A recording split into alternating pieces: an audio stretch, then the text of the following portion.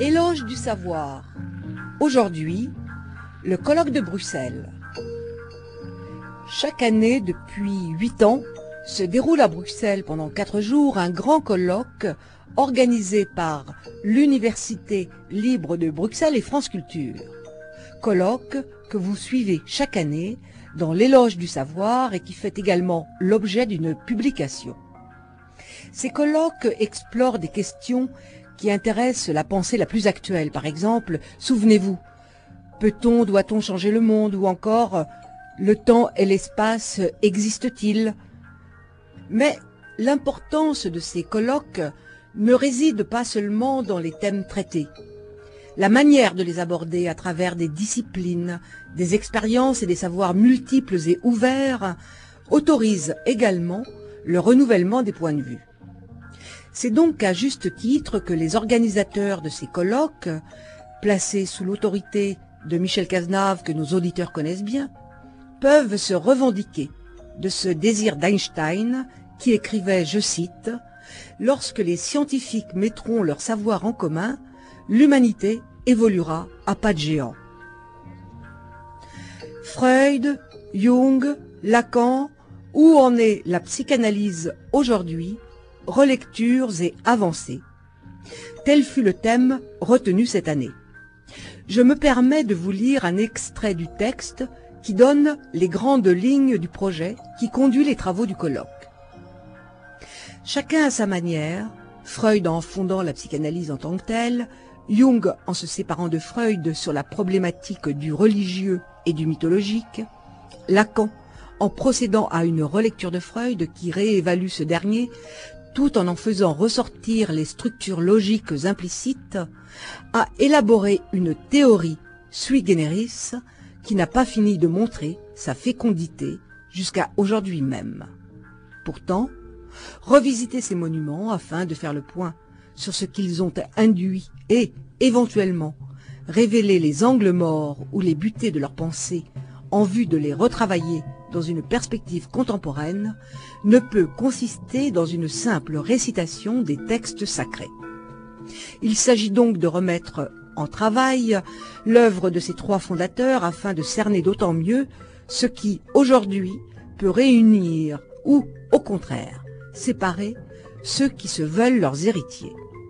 Fin de citation. Ainsi, cet espace de réflexion que sont les colloques de Bruxelles affronte, sans peur des aventures intellectuelles, les risques de confrontation brûlante nécessaires aux avancées de nos savoirs contemporains. Édouard Collot est médecin, psychiatre et psychothérapeute. Ses références psychanalytiques sont aussi bien freudiennes que jungiennes. Il fut l'élève de Léon Chertok et s'est orienté, sous l'impulsion de Jacques Palassi, vers la pratique de l'hypnoanalyse. Président fondateur de la première association de praticiens hypnothérapeutes en France, la Société française d'hypnose, il enseigne à Paris l'hypnothérapie. Il est également vice-président du groupement pour l'étude des applications médicales de l'hypnose. Son intervention s'intitule Psychanalyse et trans. Écoutez. Premièrement, je m'autorise à, faire cette, intervention euh, du fait de ma formation, dont je dis deux mots pour euh, qu'on puisse comprendre mon parcours et pourquoi j'en suis arrivé à pouvoir exposer ce genre de problématiques. J'ai donc une formation freudienne classique de psychiatre, une formation scientifique à Orsay de deux années de physique-chimie. Donc, euh, j'ai découvert ensuite l'hypnose par l'intermédiaire de Rémi Chauvin et de Léon, surtout qui m'a fait connaître Léon Chertok. Et ça a profondément modifié ma pratique. Et ensuite, ça m'a interpellé sur la question des phénomènes de la conscience ce qui m'a amené à faire un travail avec euh, Stan Groff euh, aux USA, à pratiquer quelques séances de questions d'isolation sensorielle en m'intéressant aux travaux de John Lilly, euh, à faire une pratique de rebirth et aller jusqu'à faire une initiation avec une, une chamane dans la tradition de Maria Sabina, c'est-à-dire la tradition mazatèque, avec euh, l'aide de psilocybine. Et euh, aujourd'hui, je me définis donc comme hypnoanalyste dans la mesure où pour moi, il n'y a pas de rupture épistémologique entre les états de conscience euh, entre guillemets modifiés et la psychanalyse traditionnelle. Alors, qu'est-ce qu'une transe? Je dirais que ça correspond euh, à un état neurophysiologique qui est spécifique et qui repose principalement sur un dédoublement de la conscience, au sens du, au sens du discours de la méthode. Et ce dédoublement est nommé, euh, depuis Pierre Janet, dissociation, lui l'ayant nommé désagrégation psychologique. Alors, il existe différentes formes de dissociation, bien entendu, euh, allant jusqu'au clivage psychotique, mais la dissociation dont il est question dans le contexte des trans peut aller jusqu'au clivage, mais ne revêt jamais un caractère définitif.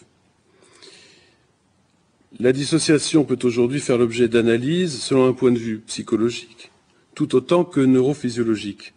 Et ça, c'est très nouveau. La recherche d'une cohérence entre ces deux outils d'analyse peut servir de fil rouge pour mieux s'orienter dans la compréhension d'un phénomène qui est complexe. Alors du point de vue psychique, nous savons depuis les travaux de Pierre Janet que nous possédons la capacité d'être conscients à deux niveaux. Cela peut se vérifier très aisément. Dans un moment de distraction, nous nous déconnectons de l'environnement immédiat et nous nous évadons dans un espace de rêverie. La répartition entre la conscience vigile et la rêverie est fonction du degré de dissociation. Plus celle-ci est accentuée et plus le rêveur s'enfonce dans les profondeurs de son monde intérieur. Depuis la transe légère du distrait ou celle d'un sujet très absorbé sur une tâche, jusqu'à la transe profonde des mystiques, il existe tous les degrés de transe, degrés qui, de plus, varient en fonction, euh, en fonction de la transe, du type de transe. L'amnésie profonde de l'hystérie, le syndrome des personnalités multiples sont des processus psychopathologiques en lien étroit avec la dissociation. Toute la question est de savoir si la dissociation résulte d'un mécanisme de l'amnésie ou si la, dissociation est utilisée par l'esprit aux fins de créer l'amnésie. quelles sont les données récentes de la neurophysiologie de la dissociation? Nous savons euh, depuis peu qu'à la transe correspond un état neurophysiologique spécifique. Différentes équipes aux États-Unis et plus, proche de nous en Belgique, euh, sous l'égide du docteur euh, Marie-Elisabeth Fémonville, qui est anesthésiste au CHU de Liège, ont montré par l'imagerie médicale, le PET scan, que lors du rappel d'un souvenir pendant une séance d'hypnose, l'ensemble des structures encéphaliques sont activées. Les aires visuelles, synesthésiques, cortex frontal, préfrontal, sur lesquels repose la gestion des, réponses affectives, les aires du langage, etc. Tandis que le même récit, lors d'un échange traditionnel, n'active principalement que les aires du langage situées dans l'hémisphère gauche chez le droitier. La dissociation autorise une nouvelle répartition d'énergie psychique, une hypervigilance intérieure qui contraste avec une faible présence au monde extérieur. J'aimerais maintenant évoquer la question du rapport de la dissociation aux trans, dans le sens où si la, dissociation est le phénomène euh, nécessaire à la trans, il n'est pas suffisant. Donc est-il légitime de nommer trans des manifestations très différentes? Oui, car les trans se caractérisent d'une part selon le mécanisme neurophysiologique, qui est un dénominateur commun, la dissociation, et en second lieu par ce qui caractérise l'objet de la transe selon la culture, les rituels, etc. Tout se passe comme si, une fois la dissociation acquise, le sujet pouvait entrer par un pertuis, par une petite fenêtre ouverte sur l'univers intérieur et l'explorer ou créer, pourquoi pas, une autre réalité.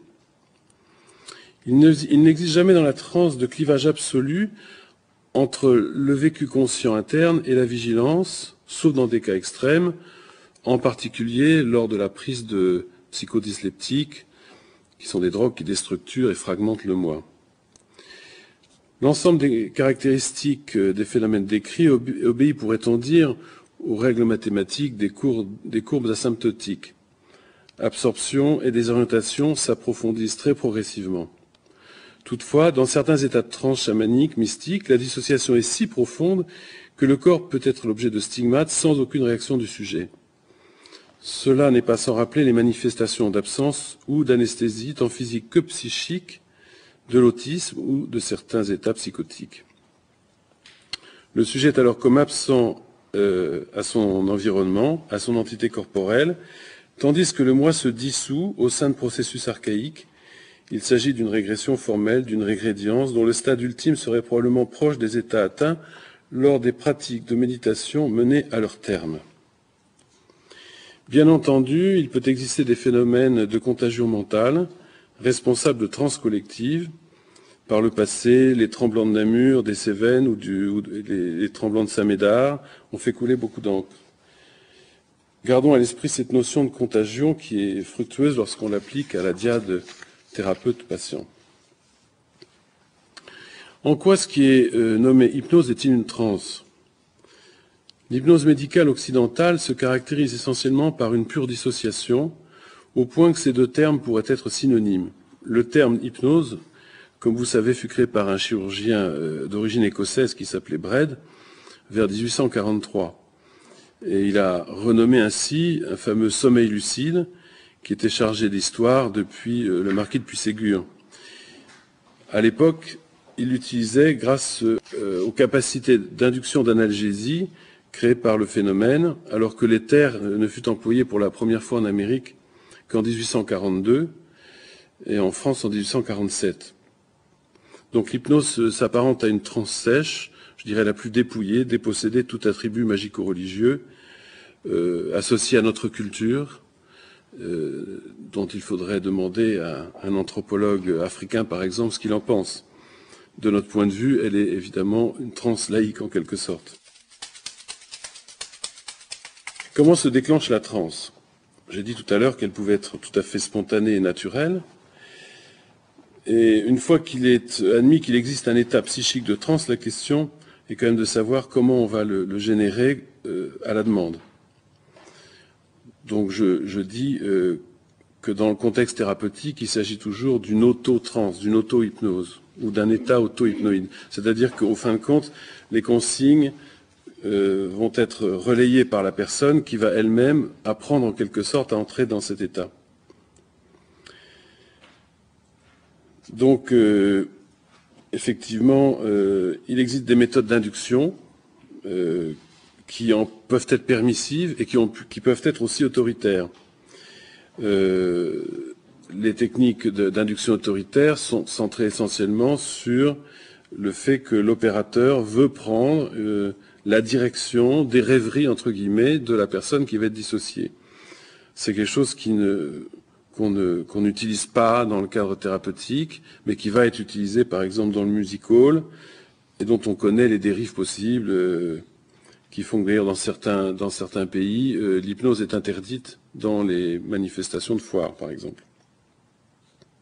Alors on sait que dans les rituels euh, traditionnels, bien entendu, ça va être la surstimulation sensorielle qui va amener la dissociation, et on va utiliser des chants qui sont volontairement répétitifs, des tambours, des danses, euh, qui vont créer une certaine confusion, un entraînement psychique, parfois même associé à des substances.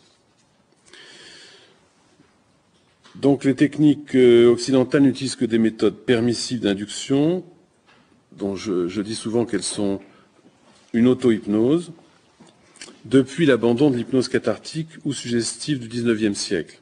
Donc euh, les trans thérapeutiques occidentales euh, sont à l'origine de nombreux courants psychothérapeutiques, en particulier des thérapies psychocorporelles. Euh, Caicedo, bien sûr, a nommé état sophronique euh, l'état requis pour la sophrologie, par exemple, mais on peut citer aussi la relaxation analytique dans les méthodes, euh, différentes méthodes euh, que vous connaissez. Et la question qu'on peut se poser, c'est qu'est-ce qui reste, est-ce qu'il reste dans la psychanalyse quelque chose de cet ordre ou non?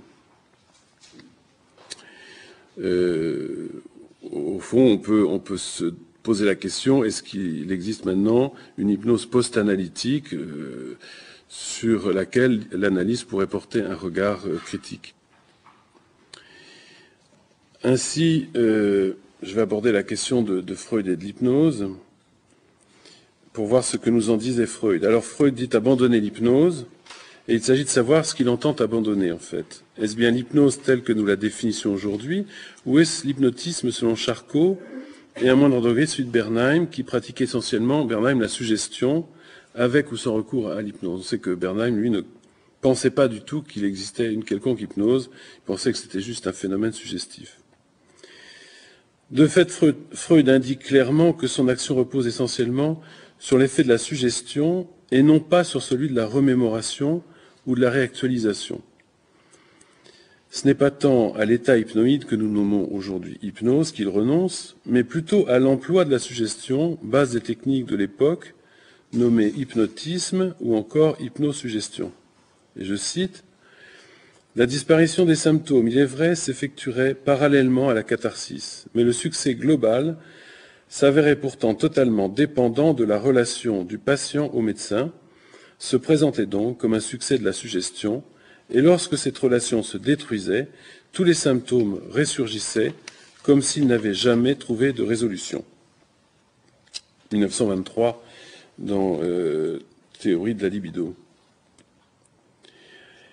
Nous pouvons lire dans le petit abrégé euh, en 1924 On ne surestimera jamais trop l'importance de l'hypnotisme, c'est-à-dire de l'hypnose associée à la suggestion, dans la genèse de la psychanalyse. D'un point de vue théorique comme d'un point de vue thérapeutique, la psychanalyse gère un héritage qu'elle a reçu de l'hypnotisme.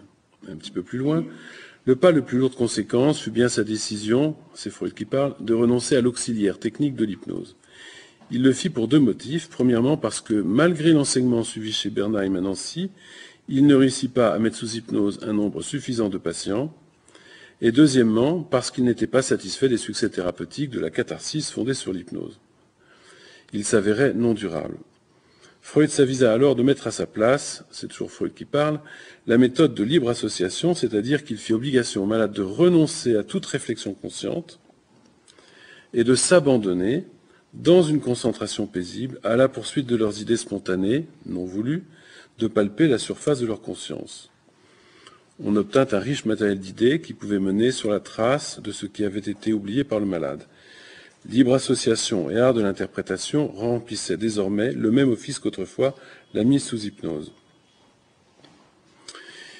Enfin, euh, dans la huitième édition de l'interprétation des rêves en 29, on peut lire la méthode exige une certaine préparation du malade. Il faut obtenir de lui à la fois une plus grande attention à ses perceptions psychiques et la suppression de la critique qui ordinairement passe au crible les idées qui surgissent dans la conscience. Pour qu'il puisse observer et se recueillir, il est bon de le mettre dans une position de repos, les yeux fermés, pour qu'il élimine toute critique. Il est indispensable de faire des recommandations formelles, on lui explique que le succès de la psychanalyse en dépend. Il faut qu'il observe et communique tout ce qui lui vient à l'esprit. Au cours de mes travaux de psychanalyse, alors, phrase très importante, j'ai observé que l'attitude psychique d'un homme qui réfléchit est très différente de celle d'un homme qui observe ses propres réflexions. Et là, clairement, on parle de dissociation. Comme on le voit, continue Freud, il s'agit en somme de reconstituer un état psychique qui présente une analogie avec l'état intermédiaire entre la veille et le sommeil, et sans doute aussi avec l'état hypnotique du point de vue de la répartition de l'énergie psychique. Il ajoute les représentations non voulues qui surgissent se transforment en images visuelles et auditives. Les représentations non voulues deviennent ainsi voulues.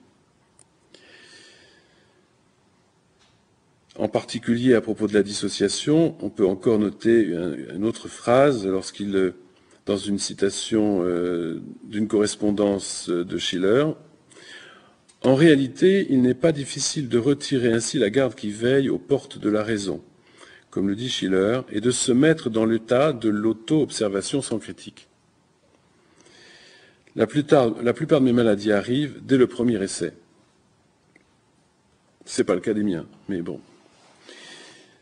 Donc la phrase pour qu'il puisse observer et se recueillir, il est bon euh, de le mettre dans une position de repos les yeux fermés, indique clairement que Freud entend garder un état hypnoïde, ce que nous nous nommons aujourd'hui en tout cas un état hypnoïde, euh, qu'on préfère souvent euh, à hypnose qui malheureusement jouit d'une représentation très négative.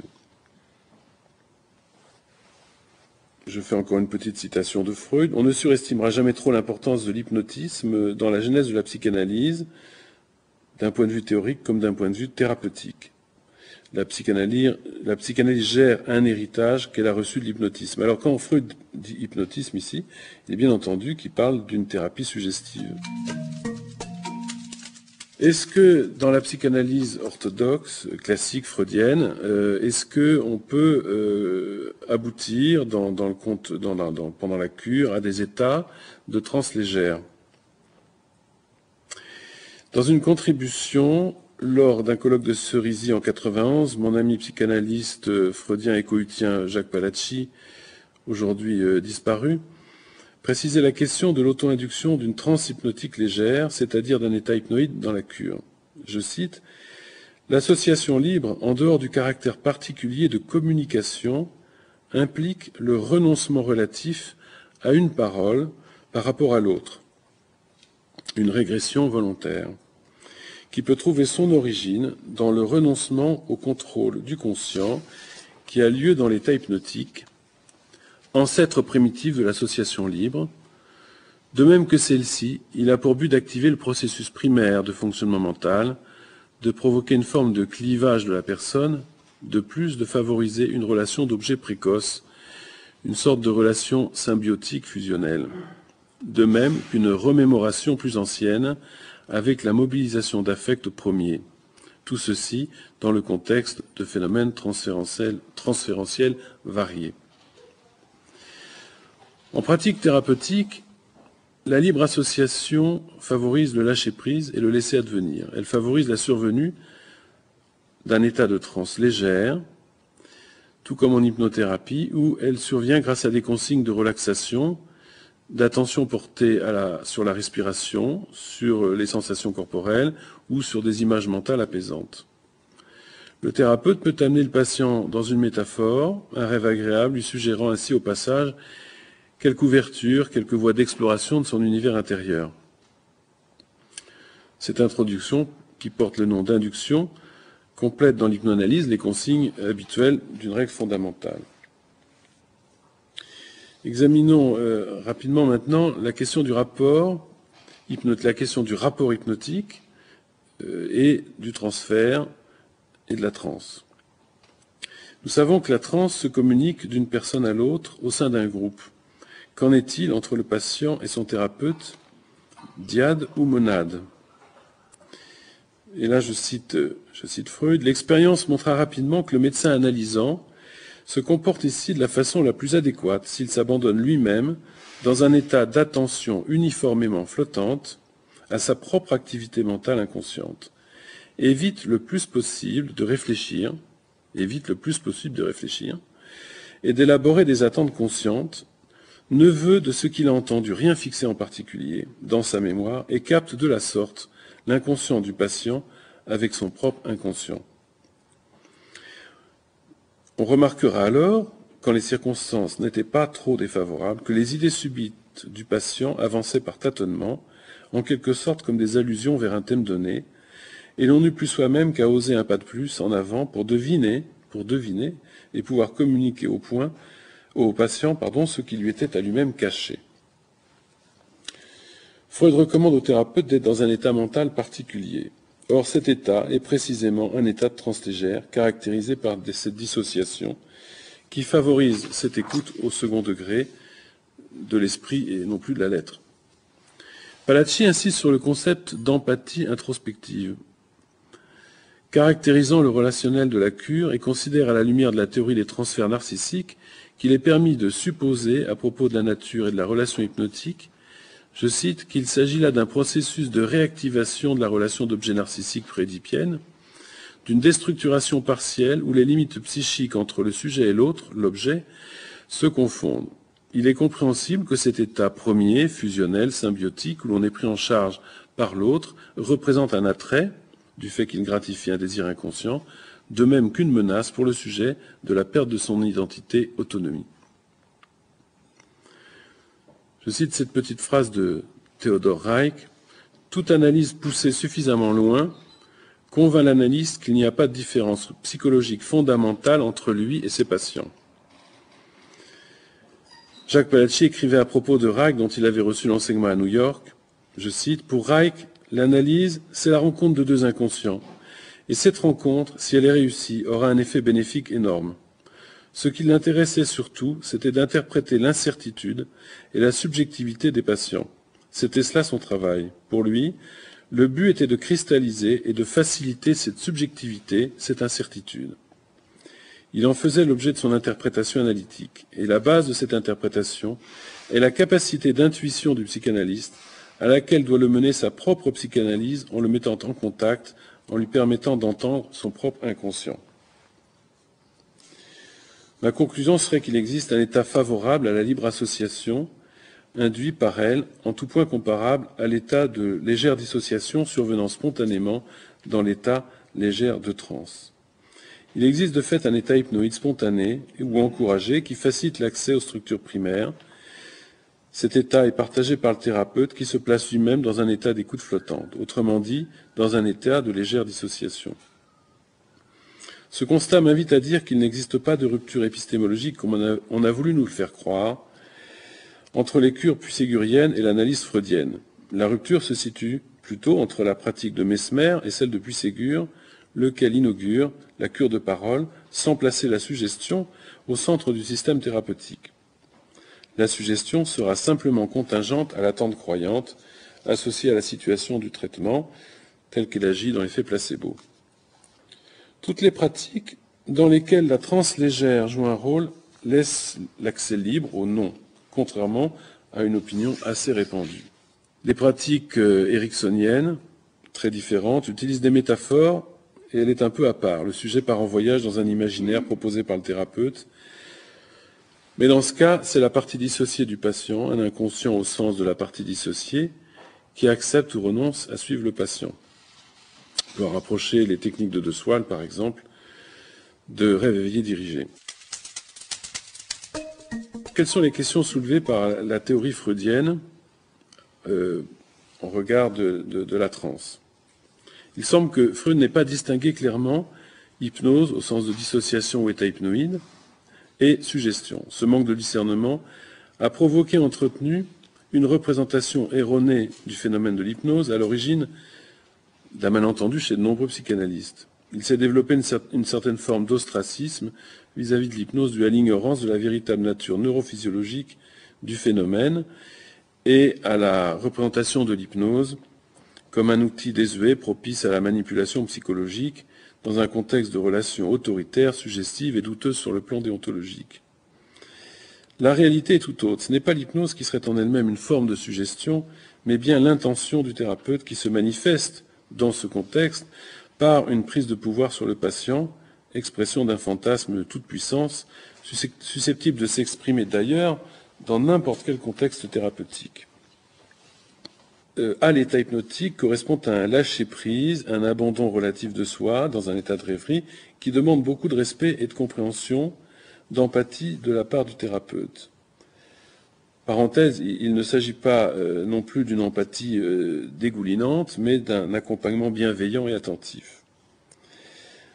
Ainsi que le formulait Palacci, il est compréhensible que cet état premier, fusionnel, symbiotique, où l'on est pris en charge par l'autre, représente un attrait, du fait qu'il gratifie un désir inconscient, de même qu'une menace pour le sujet de la perte de son identité. Et là, euh, il faudrait faire une extension que je n'aurai pas le temps de faire sur euh, effectivement cette, euh, cette, communion identitaire qui va faire qu'il y a un partage à un niveau à la fois subtil et très archaïque entre le, thérapeute et son patient. La relation aux caractéristiques les plus proches de ces états de transe est la relation mère-enfant, relation empreinte d'une forme de communication intersubjective extrêmement particulière, tout aussi remarquable dans les états hypnoïdes. Nous remarquons ce transfert de compétences de la mère à l'enfant et l'acquisition des besoins de l'enfant par la mère. Cette relation très spécifique est à mon sens à l'origine de l'élaboration du concept de transfert. Le transfert et l'analyse psychodynamique du rapport hypnotique décrit dès le XVIIIe siècle. De nombreux auteurs postérieurs à Freud ont d'ailleurs insisté sur ce point qui pourrait constituer les prémices de ce qui fut nommé plus tard le transfert narcissique. Citons par exemple Mélanie Klein, euh, Margaret Mahler, Winnicott, Kohut, euh, Searles. Quant à la suggestion en elle-même, si nous nous reportons à l'ouvrage Psychologie des masses, Freud la conçoit comme une sorte de mimésis corporelle, réflexe et en ce sens inconscient d'autrui. Là s'arrête l'explication car la relation d'objet libidinal n'apporte pas davantage d'explication. Nous savons donc aujourd'hui que la fameuse neutralité n'existe pas et c'est pour ça que je disais, en ce qui me concerne, je préfère parler d'accompagnement bienveillant associé à la règle de ne pas précéder le patient. L'hypnose et plus généralement euh, les trans ne sont pas réductibles à un effet de communication ni de suggestion. Comme le pensait Bernheim, pour qui l'état d'hypnose n'existait pas, mais était un simple état de suggestibilité. L'hypnose ne peut se réduire simplement au concept de transfert, comme le, suggère notre ami Jacques Seda. Elle n'est pas en soi un transfert, mais déjà un état neurophysiologique spécifique de survenue spontanée. Cet état peut simplement être encouragé, stimulé. Il n'est d'ailleurs que d'observer l'état des médiums ou des médecines pendant leur séance pour s'en convaincre. Là, je cite euh, François Laplantine, l'anthropologue, qui, nous dit L'acte de voyance est un scénario comparable à celui de la création, du rêve, comparable à la production d'une œuvre littéraire, d'un tableau. L'acte de voyance, comme l'œuvre, permettrait de découvrir et d'inventer des correspondances et des différences entre le monde intérieur et la, réalité externe. L'opinion que l'état hypnoïde supprime les résistances est fausse. Le cas, d'ailleurs euh, cité par Freud de Mathilde H, en est un exemple. Freud, malgré tous ses efforts, et alors qu'il l'a décrit comme étant en hypnose profonde, ne peut obtenir de réponse de la part de la patiente. L'hypnose, que je nommerai donc, vous l'avez compris plus volontiers l'état hypnoïde, est un état auquel les sujets très défendus ne parviennent pas. Ils n'accèdent pas au lâcher-prise. C'est précisément au cours de l'expérience du lâcher-prise que le sujet entre paisiblement dans cet état dissocié. Et cette phase peut demander des mois de travail. La question de la dissociation euh, est ambiguë dans la, représentation freudienne. On sait que Morton Prince conteste l'explication de Freud concernant la dissociation. Prince considère la dissociation comme un mécanisme commun au phénomène, je cite, de distraction, de présommeil, de crise d'hystérie, de transe d'hypnose, de narcolepsie, de la suggestion post-hypnotique, etc. L'amnésie, selon lui, rend compte, je cite, des états de conscience modifiés. L'oubli d'un rêve, dit-il, est seulement un exemple particulier d'amnésie propre aux états dissociés. Toute explication satisfaisante de cette amnésie ne doit pas en méconnaître les autres formes et doit être en accord avec elles. Le défaut de l'explication freudienne de cette amnésie à en satisfaire les autres types est, à mon avis, une objection fatale à sa théorie de la dissociation. Freud répond à Morton Prince dans l'interprétation des rêves. Morton Prince objecte à ma théorie de l'outil du rêve qu'il n'y a là qu'un cas particulier d'amnésie, d'état dissocié, dissociated states, et qu'on ne saurait entendre, étendre mon explication à cette amnésie particulière à d'autres types, de sorte qu'elle perd toute sa valeur. Il rappelle par là au lecteur que dans toutes ses descriptions d'états dissociés, il n'a jamais tenté d'interprétation dynamique. Selon, sinon, il aurait découvert que le refoulement ou la résistance qu'il provoque est à l'origine des dissociations tout autant que de l'amnésie qui frappe leur contenu psychique. Freud emprunte partiellement l'hypothèse de Janet concernant les liens entre hystérie et dissociation.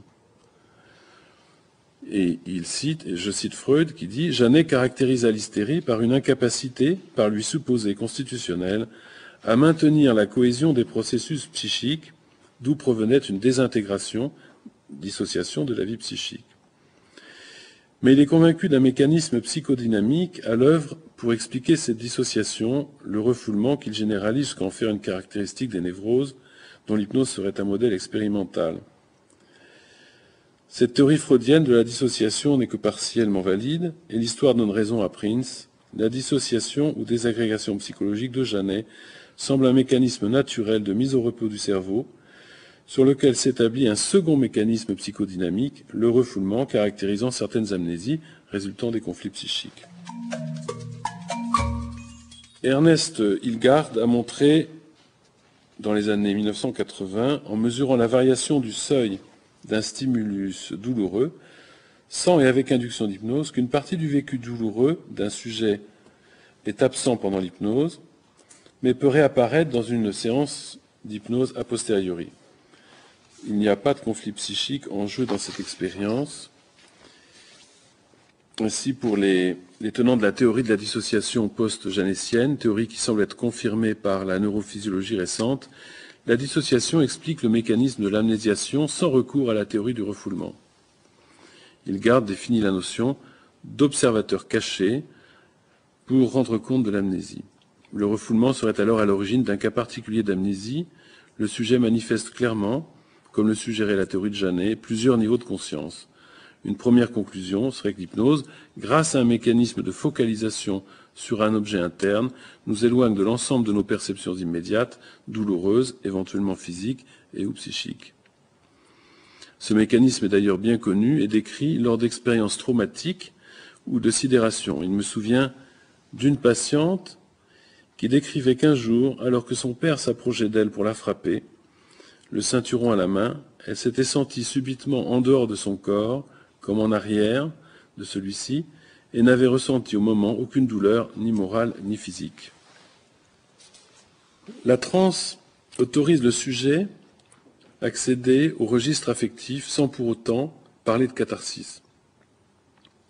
En effet, riche de l'expérience du travail avec l'hypnose, nous remarquons que Freud est très conscient de la nécessité de laisser place à l'expression affective plutôt que cognitive et qu'il évoque dès 1892 dans les communications préliminaires euh, des études sur l'hystérie, je cite, La remémoration des nœuds d'affect est presque toujours sans effet.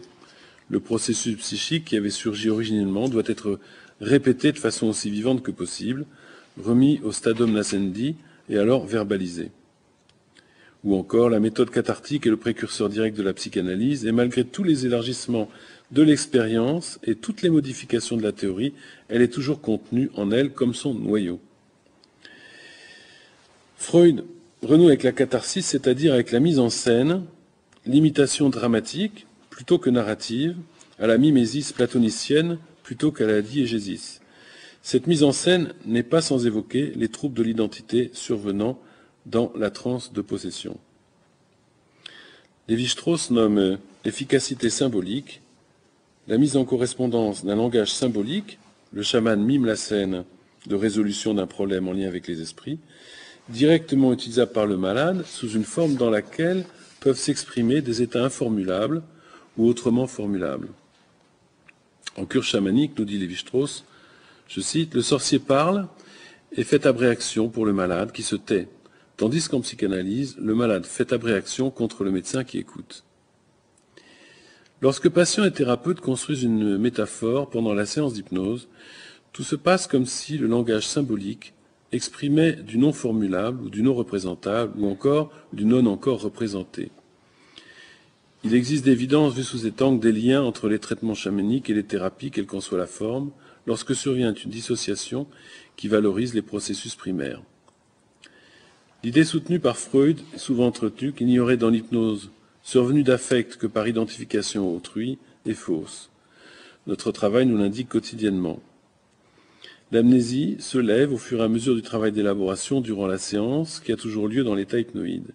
Il n'existe pas d'opposition entre la résurgence du trauma, la, réactualisation consciente de la structure psychique. La mimésis, la reviviscence dans l'hypnose, et la diégésis, la prise de conscience du trauma, sont les deux termes d'une dialectique aboutissant à la résolution du conflit. Il n'existe pas d'inconscience dans l'hypnose, sauf dans les cas de relations autoritaires suggestives et dans les cas d'une impossibilité à la représentation. Dans ce cas, le travail, passant par la métaphore ou par le corps, peut parvenir à réguler un conflit non représentable. Freud admet la nécessité d'une remémoration associée aux affects, ce qui est précisément le cas de l'introduction d'un état hypnoïde dans la pratique, puisque nous avons vu qu'il correspondait à un revécu plutôt qu'à une simple remémoration. Nous savons qu'au travail cérébral correspond un système de défense du patient. L'érotisation du discours intellectuel favorise la stagnation de la cure. Une dissociation légère favorise le revécu.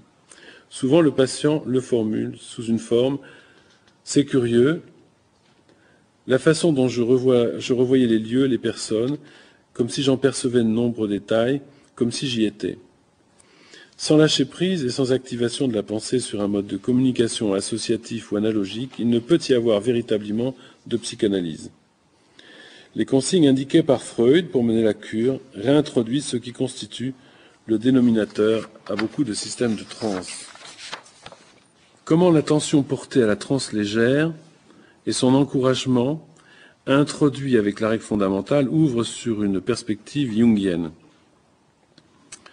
Dans l'interprétation des rêves, Freud évoque la possibilité de réminiscence phylogénétique en citant Nietzsche admettant implicitement un inconscient différent, plus vaste que celui d'une production de refoulement. Je cite, nous pressentons toute la justesse des paroles de Nietzsche, disant que dans le rêve se perpétue une époque primitive de l'humanité que nous ne pourrions guère atteindre par une autre voie, par une voie directe, pardon. Toutefois, il ne développera pas cette conception d'un inconscient débordant les limites du moi, le considérant comme dangereux. Nous en trouvons confirmation dans le compte-rendu que le jeune poète suisse Bruno Goetz fait d'une de ses visites à Freud, avec lequel il avait eu plusieurs entretiens au cours de l'année universitaire 1904-1905. Goetz, étudiant à Vienne, lui avait fait part de l'enthousiasme que lui avait inspiré la lecture de la Bhagavad Gita donnée par Léopold von Schröder, érudite en sanskrit.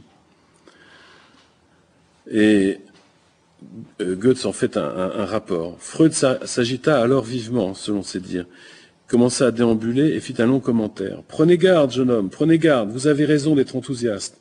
La bouche exprime l'abondance du cœur. Votre cœur gagnera toujours le jour. Mais gardez la tête froide, que fort heureusement vous avez encore. Restez sur vos gardes. Un intellect clair et brillant est un don des plus précieux. Le poète de la Bhagavad Gita serait le premier à affirmer cette vérité.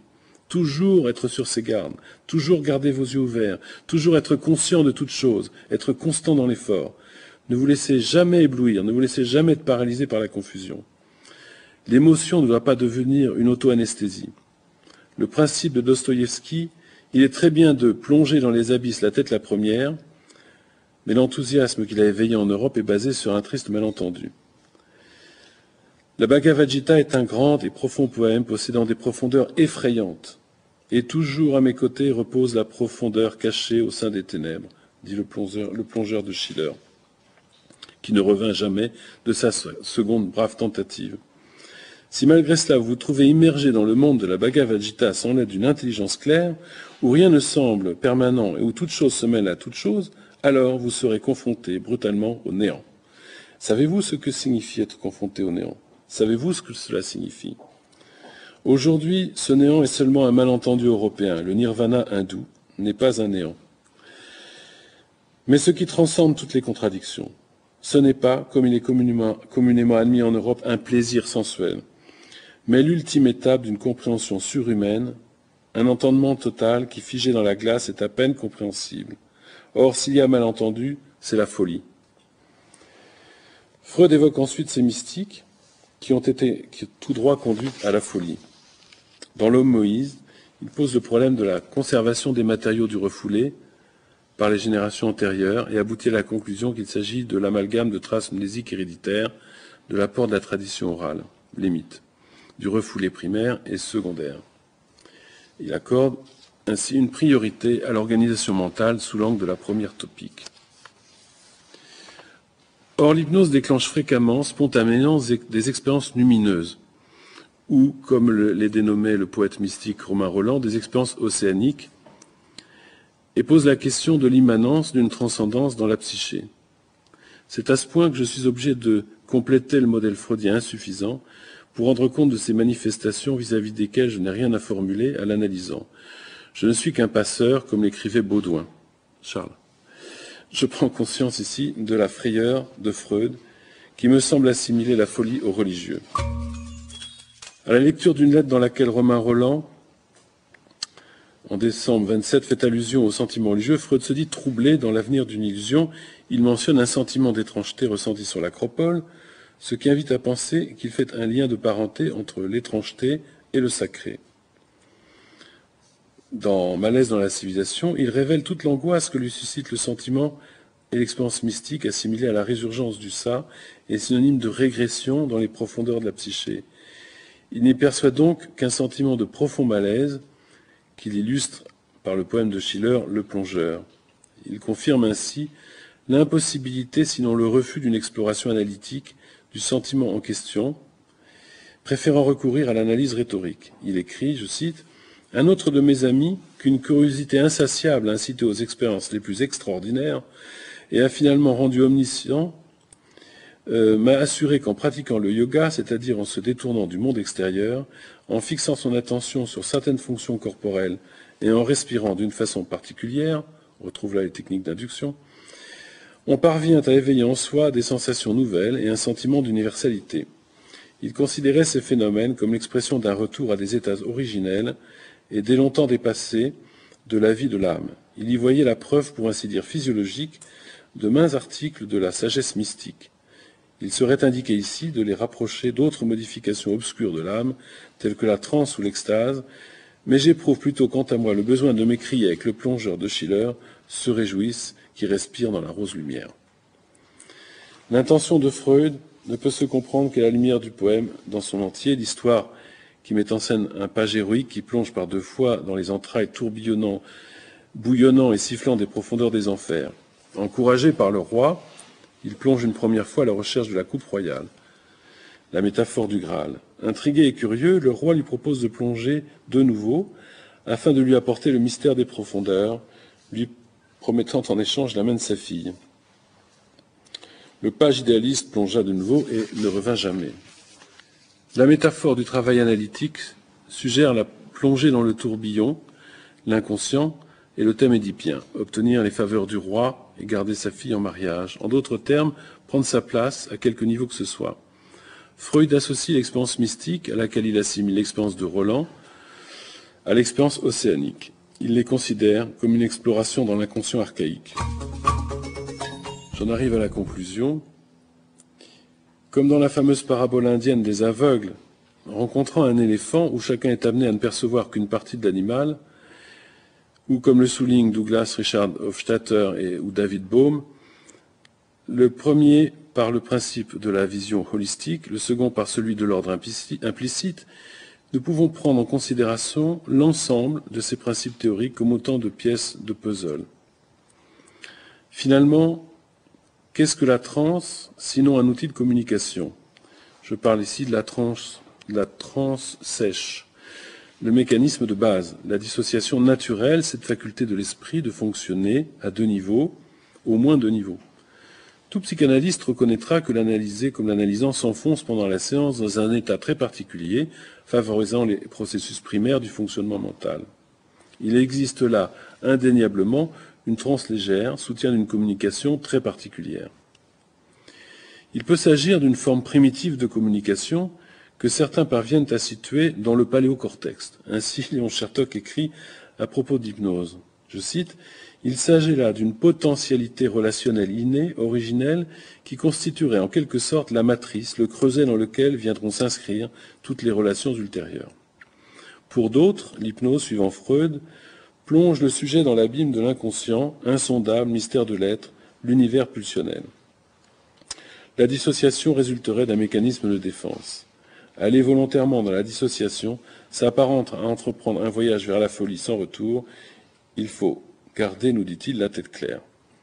Jung, explorateur invétéré, propose une représentation plus grandiose, considérant l'inconscient comme une vaste dimension, porteuse de sens au travers d'un ensemble d'archétypes sous l'égide d'un grand archétype organisateur. Cette vision se rapproche de celle de la philosophie taoïste. La dissociation devient l'outil nous permettant de nous relier à un soi, ainsi que s'accomplisse le processus d'individuation. La dissociation crée, du lien, avec les tradithérapeutes ou chamans, en ce qu'elle constitue plus ou moins le dénominateur commun d'un ensemble de systèmes de soins. En tout cas, elle en est rarement absente.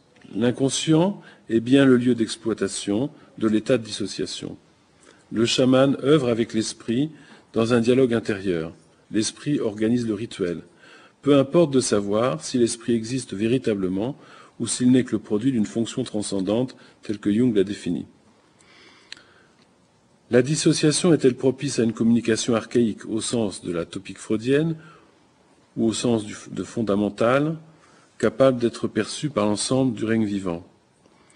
Dans tous les cas, elle est le lieu de partage, donc de communication avec autrui, avec soi-même, pour un dialogue de soi à soi, avec un autre soi. Une communication, d'ailleurs, avec l'animal est sans doute possible. Elle se fait toujours par un procédé mettant en œuvre une dissociation, tout comme dans l'oracle. Dans tous les cas, ce qui est à l'œuvre est une sorte de dialogue intersubjectif duquel la parole est souvent superflue. Parfois, il s'agit de faire référence à un tiers, un grand autre, un innommable. Il existe définitivement des liens entre la transe et la psychanalyse, quoi qu'on s'en dise. J'avais déjà une forme de remarque à la fin de ton exposé, c'est que peut-être nous ici, entre les Freudiens, Marie-Laure Colonna, les Jungiens et les Lacaniens, on était euh, comme l'un des Indiens dont tu parlais, aux prises avec cet éléphant, et que peut-être nos différentes tentatives de traduction euh, ensemble et d'approximation sont, ça serait quelque chose de tout à fait comparable à différentes manières, selon les familles psychiques auxquelles on appartient, euh, d'appréhender euh, la psyché de façon différente. Et c'est vrai que pour ma part, d'abord, ma pratique à moi ressemble énormément à la tienne mes perceptions d'analyste également.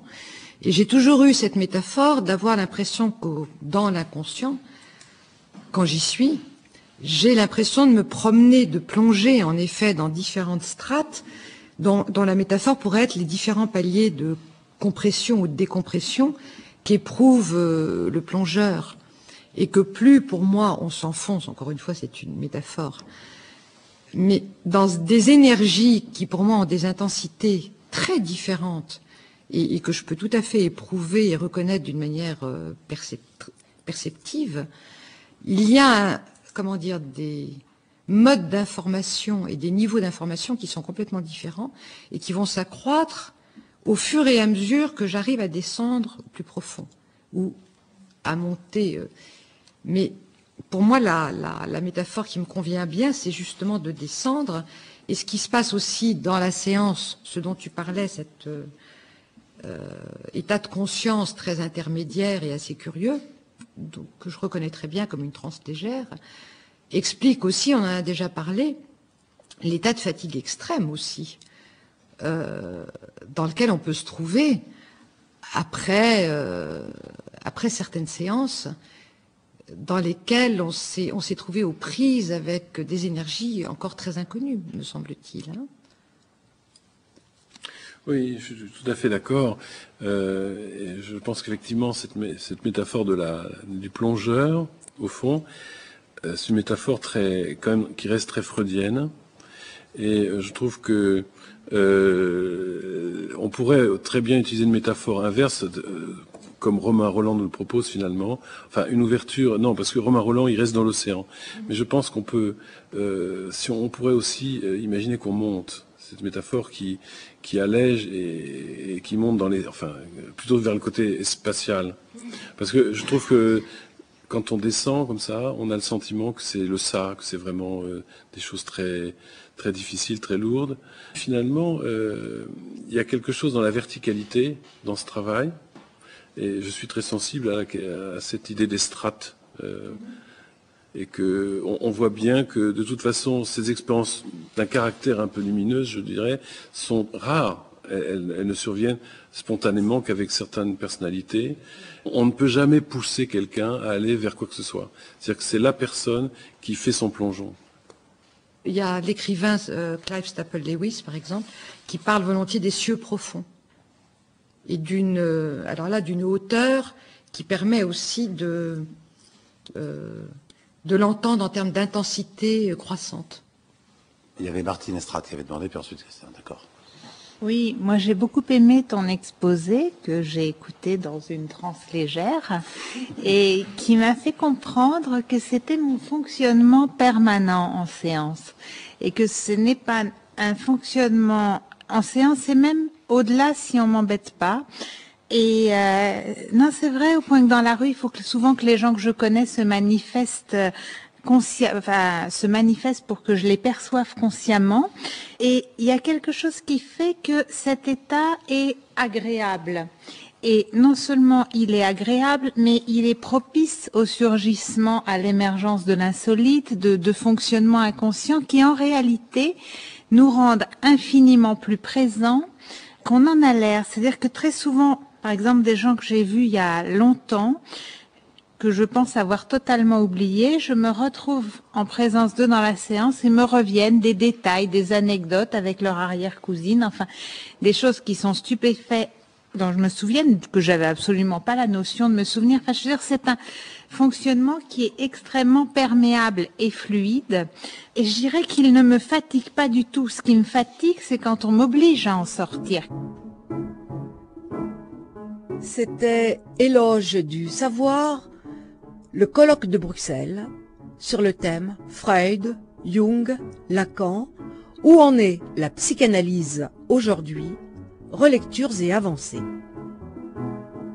Avec ce matin Édouard Collot, mixage Olivier Dupré, réalisation Isabelle Huel, présentation Christine Goémé.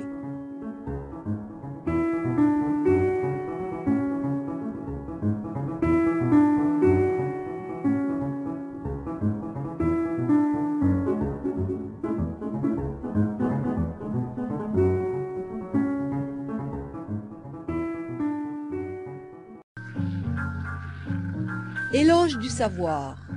Aujourd'hui, le colloque de Bruxelles. Chaque année, depuis huit ans, se déroule à Bruxelles pendant quatre jours un grand colloque organisé par l'Université libre de Bruxelles et France Culture. Colloque que vous suivez chaque année dans l'éloge du savoir et qui fait également l'objet d'une publication. Ces colloques explorent des questions qui intéresse la pensée la plus actuelle. Par exemple, souvenez-vous, peut-on, doit-on changer le monde ou encore le temps et l'espace existent-ils? Mais l'importance de ces colloques ne réside pas seulement dans les thèmes traités. La manière de les aborder à travers des disciplines, des expériences et des savoirs multiples et ouverts autorise également le renouvellement des points de vue. C'est donc à juste titre que les organisateurs de ces colloques, placés sous l'autorité de Michel Cazenave que nos auditeurs connaissent bien, peuvent se revendiquer de ce désir d'Einstein qui écrivait, je cite, Lorsque les scientifiques mettront leur savoir en commun, l'humanité évoluera à pas de géant. Freud, Jung, Lacan, où en est la psychanalyse aujourd'hui? Relectures et avancées. Tel fut le thème retenu cette année. Je me permets de vous lire un extrait du texte qui donne les grandes lignes du projet qui conduit les travaux du colloque.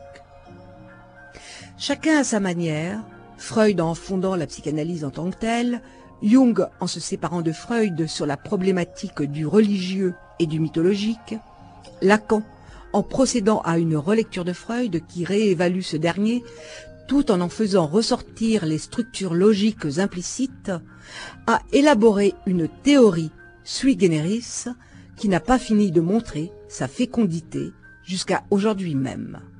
Pourtant, revisiter ces monuments afin de faire le point sur ce qu'ils ont induit et, éventuellement, révéler les angles morts ou les butées de leurs pensées en vue de les retravailler dans une perspective contemporaine ne peut consister dans une simple récitation des textes sacrés. Il s'agit donc de remettre en travail l'œuvre de ces trois fondateurs afin de cerner d'autant mieux ce qui, aujourd'hui, peut réunir ou, au contraire, séparer ceux qui se veulent leurs héritiers. Fin de citation. Ainsi, cet espace de réflexion que sont les colloques de Bruxelles affronte, sans peur des aventures intellectuelles, les risques de confrontation brûlante nécessaires aux avancées de nos savoirs contemporains. Édouard Collot est médecin, psychiatre et psychothérapeute. Ses références psychanalytiques sont aussi bien freudiennes que jungiennes.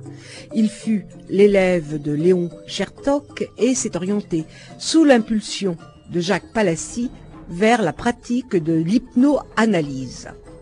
Président fondateur de la première association de praticiens hypnothérapeutes en France, la Société française d'hypnose, il enseigne à Paris l'hypnothérapie. Il est également vice-président du groupement pour l'étude des applications médicales de l'hypnose. Son intervention s'intitule Psychanalyse et trans. Écoutez.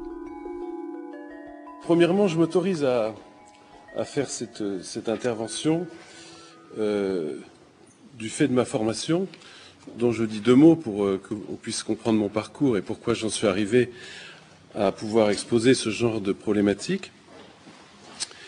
J'ai donc une formation freudienne classique de psychiatre, une formation scientifique à Orsay de deux années de physique-chimie. Donc, euh, j'ai découvert euh, ensuite euh, l'hypnose par l'intermédiaire de Rémi Chauvin et de Léon, surtout qui m'a fait connaître Léon Chertok. Et ça a profondément modifié ma pratique. Et ensuite, ça m'a interpellé sur la question des phénomènes de la conscience ce qui m'a amené à faire un travail avec euh, Stan Groff euh, aux USA, à pratiquer quelques séances de questions d'isolation sensorielle en m'intéressant aux travaux de John Lilly, euh, à faire une pratique de rebirth et aller jusqu'à faire une initiation avec une, une chamane dans la tradition de Maria Sabina, c'est-à-dire la tradition mazatèque, avec l'aide de psilocybine.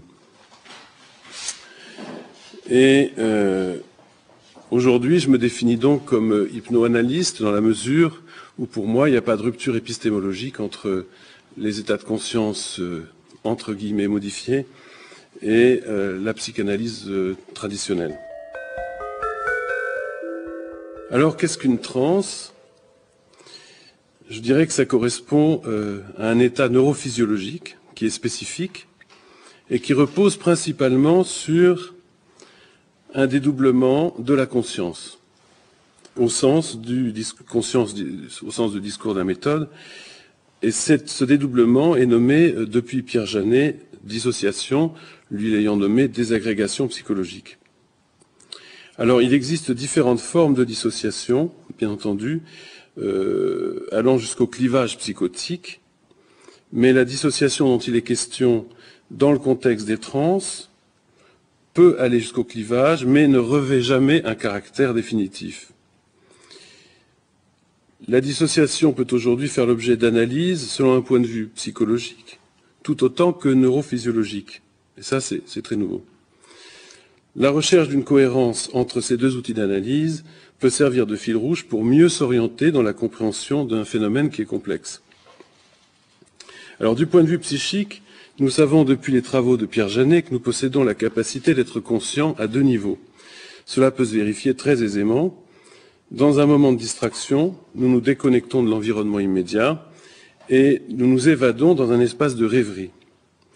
La répartition entre la conscience vigile et la rêverie est fonction du degré de dissociation.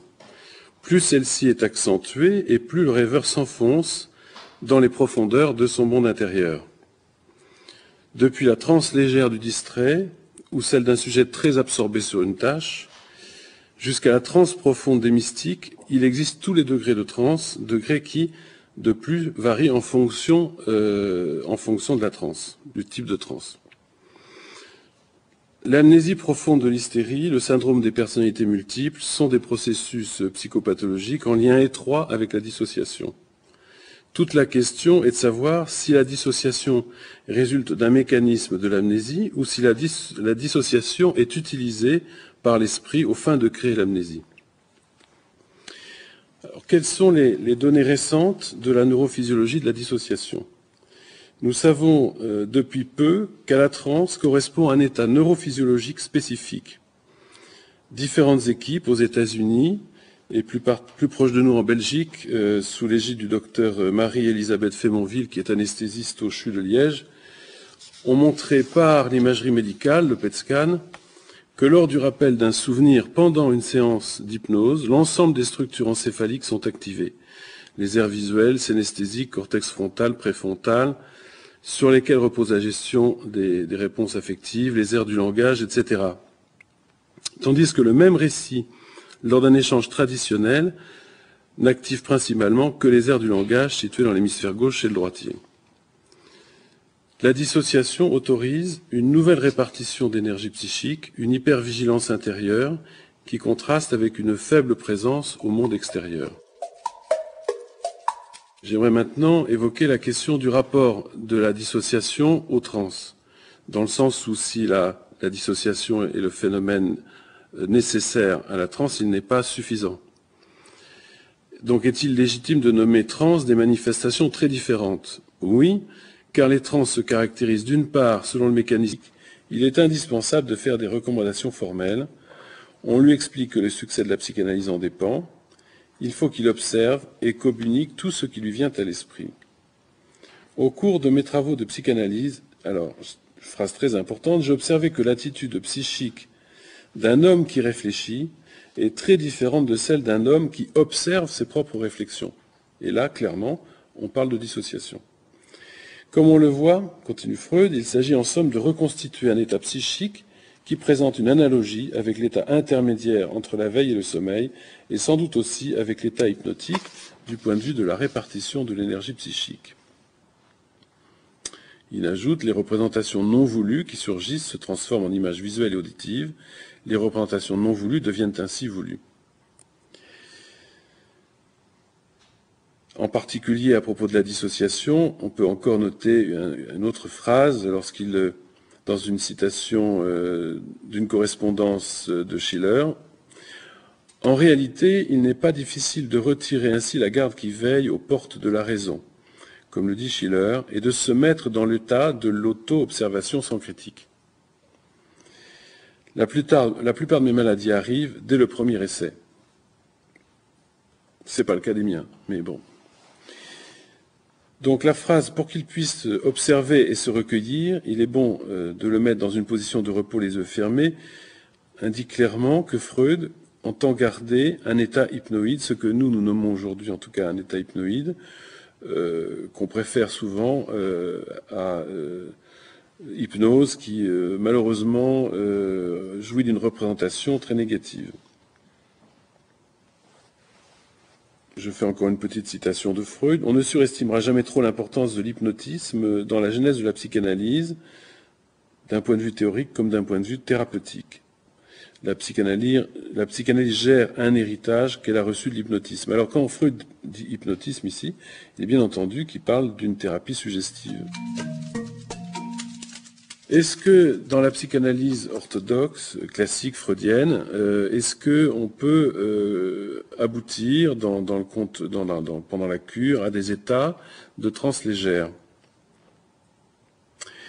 Dans une contribution lors d'un colloque de Cerisy en 91, mon ami psychanalyste freudien et cohutien Jacques Palacci, aujourd'hui euh, disparu, préciser la question de l'auto-induction d'une transe hypnotique légère, c'est-à-dire d'un état hypnoïde dans la cure.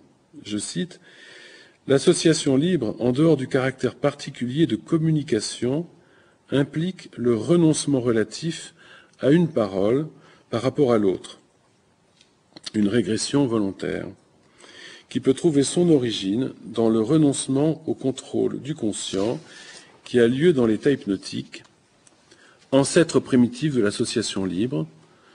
De même que celle-ci, il a pour but d'activer le processus primaire de fonctionnement mental, de provoquer une forme de clivage de la personne, de plus de favoriser une relation d'objet précoce, une sorte de relation symbiotique fusionnelle. De même qu'une remémoration plus ancienne avec la mobilisation d'affects premiers. Tout ceci dans le contexte de phénomènes transférentiels, transférentiels variés. En pratique thérapeutique, La libre association favorise le lâcher-prise et le laisser advenir. Elle favorise la survenue d'un état de transe légère, tout comme en hypnothérapie, où elle survient grâce à des consignes de relaxation, d'attention portée sur la respiration, sur les sensations corporelles ou sur des images mentales apaisantes. Le thérapeute peut amener le patient dans une métaphore, un rêve agréable, lui suggérant ainsi au passage quelques ouvertures, quelques voies d'exploration de son univers intérieur. Cette introduction, qui porte le nom d'induction, complète dans l'hypnoanalyse les consignes habituelles d'une règle fondamentale. Examinons euh, rapidement maintenant la question du rapport, hypnotique euh, et du transfert et de la transe. Nous savons que la transe se communique d'une personne à l'autre au sein d'un groupe. Qu'en est-il entre le patient et son thérapeute, diade ou monade? Et là, je cite, Freud, l'expérience montra rapidement que le médecin analysant se comporte ici de la façon la plus adéquate s'il s'abandonne lui-même dans un état d'attention uniformément flottante à sa propre activité mentale inconsciente. Évite le plus possible de réfléchir, évite le plus possible de réfléchir, et d'élaborer des attentes conscientes ne veut de ce qu'il a entendu rien fixer en particulier dans sa mémoire et capte de la sorte l'inconscient du patient avec son propre inconscient. On remarquera alors, quand les circonstances n'étaient pas trop défavorables, que les idées subites du patient avançaient par tâtonnement, en quelque sorte comme des allusions vers un thème donné, et l'on n'eut plus soi-même qu'à oser un pas de plus en avant pour deviner, pour deviner, et pouvoir communiquer au point au patient pardon, ce qui lui était à lui-même caché. Freud recommande au thérapeute d'être dans un état mental particulier. Or, cet état est précisément un état de translégère caractérisé par cette dissociation qui favorise cette écoute au second degré de l'esprit et non plus de la lettre. Palacci insiste sur le concept d'empathie introspective, caractérisant le relationnel de la cure et considère à la lumière de la théorie des transferts narcissiques qu'il est permis de supposer, à propos de la nature et de la relation hypnotique, je cite, qu'il s'agit là d'un processus de réactivation de la relation d'objet narcissique prédipienne, d'une déstructuration partielle où les limites psychiques entre le sujet et l'autre, l'objet, se confondent. Il est compréhensible que cet état premier, fusionnel, symbiotique, où l'on est pris en charge par l'autre, représente un attrait, du fait qu'il gratifie un désir inconscient, de même qu'une menace pour le sujet de la perte de son identité autonomie. Je cite cette petite phrase de Theodor Reich. Toute analyse poussée suffisamment loin convainc l'analyste qu'il n'y a pas de différence psychologique fondamentale entre lui et ses patients. Jacques Palacci écrivait à propos de Reich, dont il avait reçu l'enseignement à New York, je cite, Pour Reich, l'analyse, c'est la rencontre de deux inconscients. Et cette rencontre, si elle est réussie, aura un effet bénéfique énorme. Ce qui l'intéressait surtout, c'était d'interpréter l'incertitude et la subjectivité des patients. C'était cela son travail. Pour lui, le but était de cristalliser et de faciliter cette subjectivité, cette incertitude. Il en faisait l'objet de son interprétation analytique. Et la base de cette interprétation est la capacité d'intuition du psychanalyste à laquelle doit le mener sa propre psychanalyse en le mettant en contact en lui permettant d'entendre son propre inconscient. Ma conclusion serait qu'il existe un état favorable à la libre association, induit par elle, en tout point comparable à l'état de légère dissociation survenant spontanément dans l'état légère de transe. Il existe de fait un état hypnoïde spontané ou encouragé qui facilite l'accès aux structures primaires, cet état est partagé par le thérapeute qui se place lui-même dans un état d'écoute flottante, autrement dit, dans un état de légère dissociation. Ce constat m'invite à dire qu'il n'existe pas de rupture épistémologique, comme on a, voulu nous le faire croire, entre les cures puisséguriennes et l'analyse freudienne. La rupture se situe plutôt entre la pratique de Mesmer et celle de Puisségur, lequel inaugure la cure de parole sans placer la suggestion au centre du système thérapeutique la suggestion sera simplement contingente à l'attente croyante associée à la situation du traitement tel qu'il agit dans l'effet placebo. Toutes les pratiques dans lesquelles la transe légère joue un rôle laissent l'accès libre au non, contrairement à une opinion assez répandue. Les pratiques euh, ericksoniennes, très différentes, utilisent des métaphores et elle est un peu à part. Le sujet part en voyage dans un imaginaire proposé par le thérapeute. Mais dans ce cas, c'est la partie dissociée du patient, un inconscient au sens de la partie dissociée, qui accepte ou renonce à suivre le patient. On peut rapprocher les techniques de De Soil, par exemple, de rêve éveillé dirigé. Quelles sont les questions soulevées par la théorie freudienne euh, en regard de, la transe? Il semble que Freud n'ait pas distingué clairement hypnose au sens de dissociation ou état hypnoïde et suggestion. Ce manque de discernement a provoqué, entretenu, une représentation erronée du phénomène de l'hypnose à l'origine d'un malentendu chez de nombreux psychanalystes. Il s'est développé une, certaine forme d'ostracisme vis-à-vis de l'hypnose due à l'ignorance de la véritable nature neurophysiologique du phénomène et à la représentation de l'hypnose comme un outil désuet propice à la manipulation psychologique dans un contexte de relations autoritaires, suggestives et douteuses sur le plan déontologique. La réalité est tout autre. Ce n'est pas l'hypnose qui serait en elle-même une forme de suggestion, mais bien l'intention du thérapeute qui se manifeste dans ce contexte par une prise de pouvoir sur le patient, expression d'un fantasme de toute puissance, susceptible de s'exprimer d'ailleurs dans n'importe quel contexte thérapeutique. Euh, à l'état hypnotique correspond à un lâcher-prise, un abandon relatif de soi dans un état de rêverie qui demande beaucoup de respect et de compréhension, d'empathie de la part du thérapeute. Parenthèse, il ne s'agit pas euh, non plus d'une empathie euh, dégoulinante, mais d'un accompagnement bienveillant et attentif. Ainsi que le formulait Palacci, il est compréhensible que cet état premier, fusionnel, symbiotique, où l'on est pris en charge par l'autre, représente un attrait, du fait qu'il gratifie un désir inconscient, de même qu'une menace pour le sujet de la perte de son identité.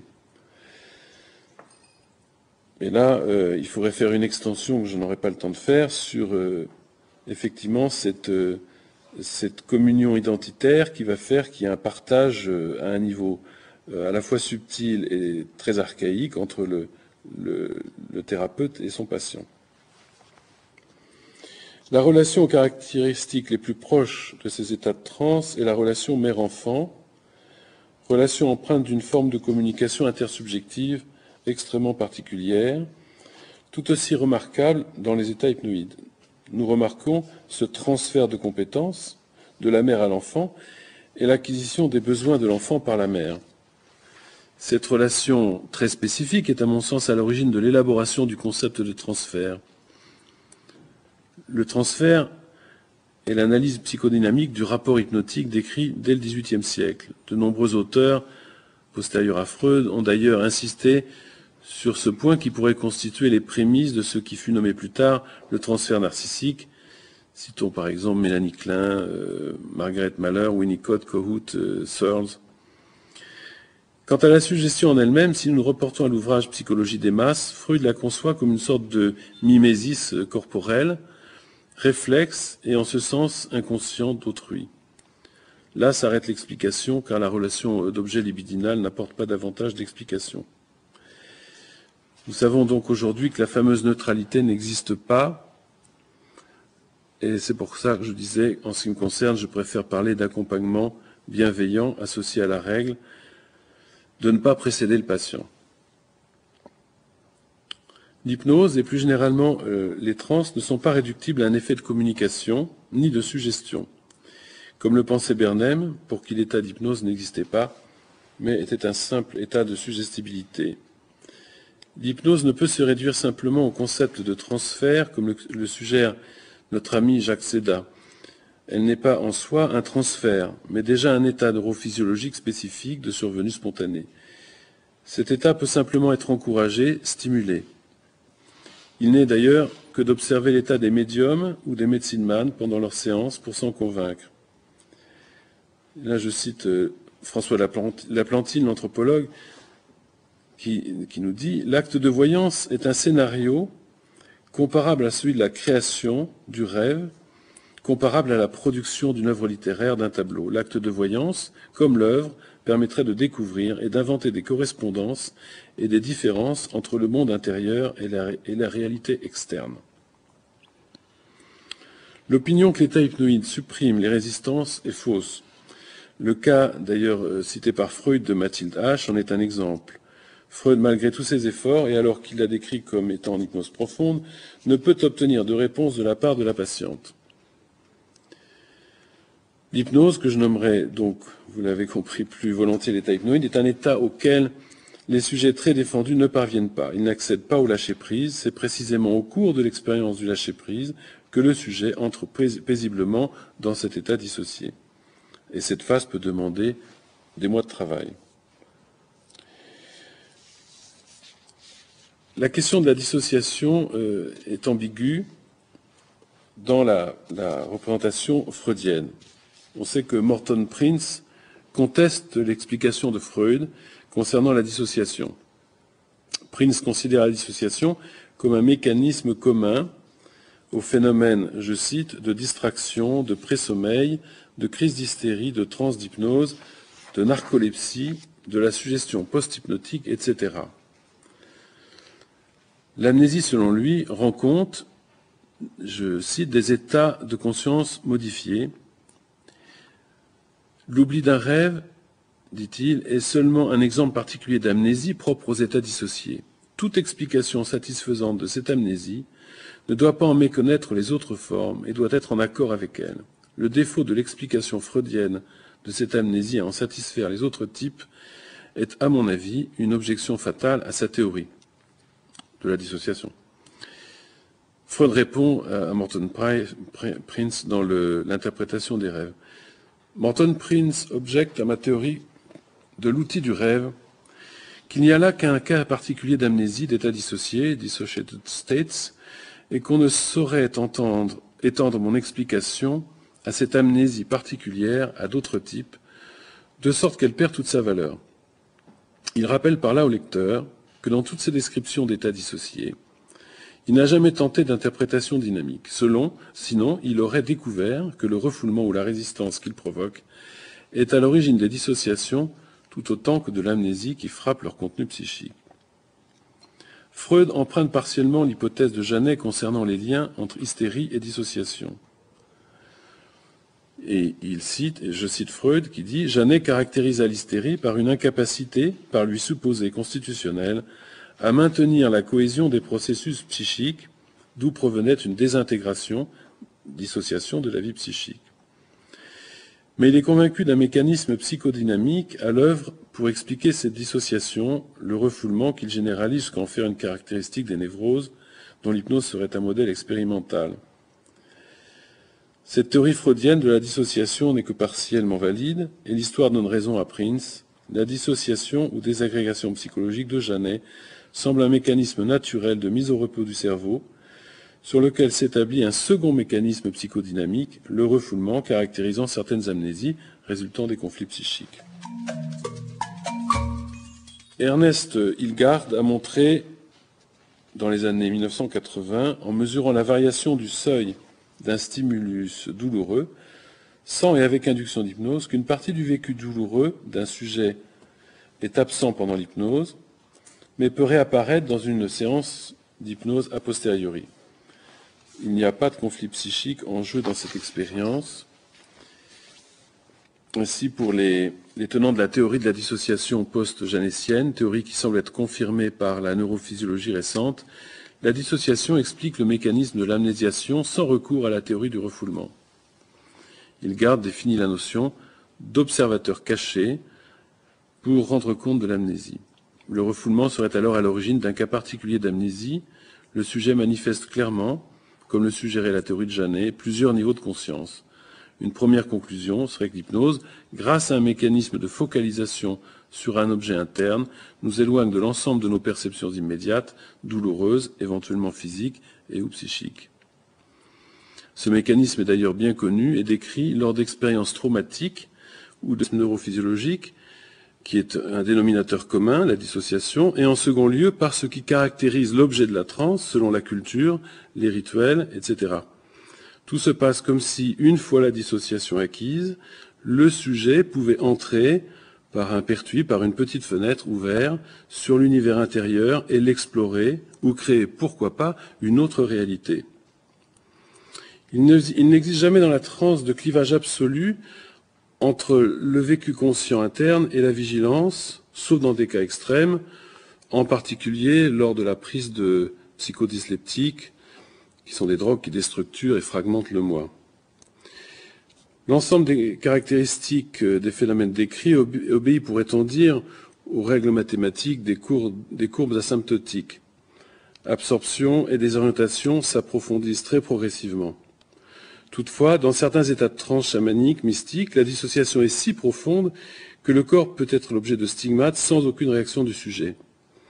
Cela n'est pas sans rappeler les manifestations d'absence ou d'anesthésie, tant physique que psychique, de l'autisme ou de certains états psychotiques. Le sujet est alors comme absent euh, à son environnement, à son entité corporelle, tandis que le moi se dissout au sein de processus archaïques.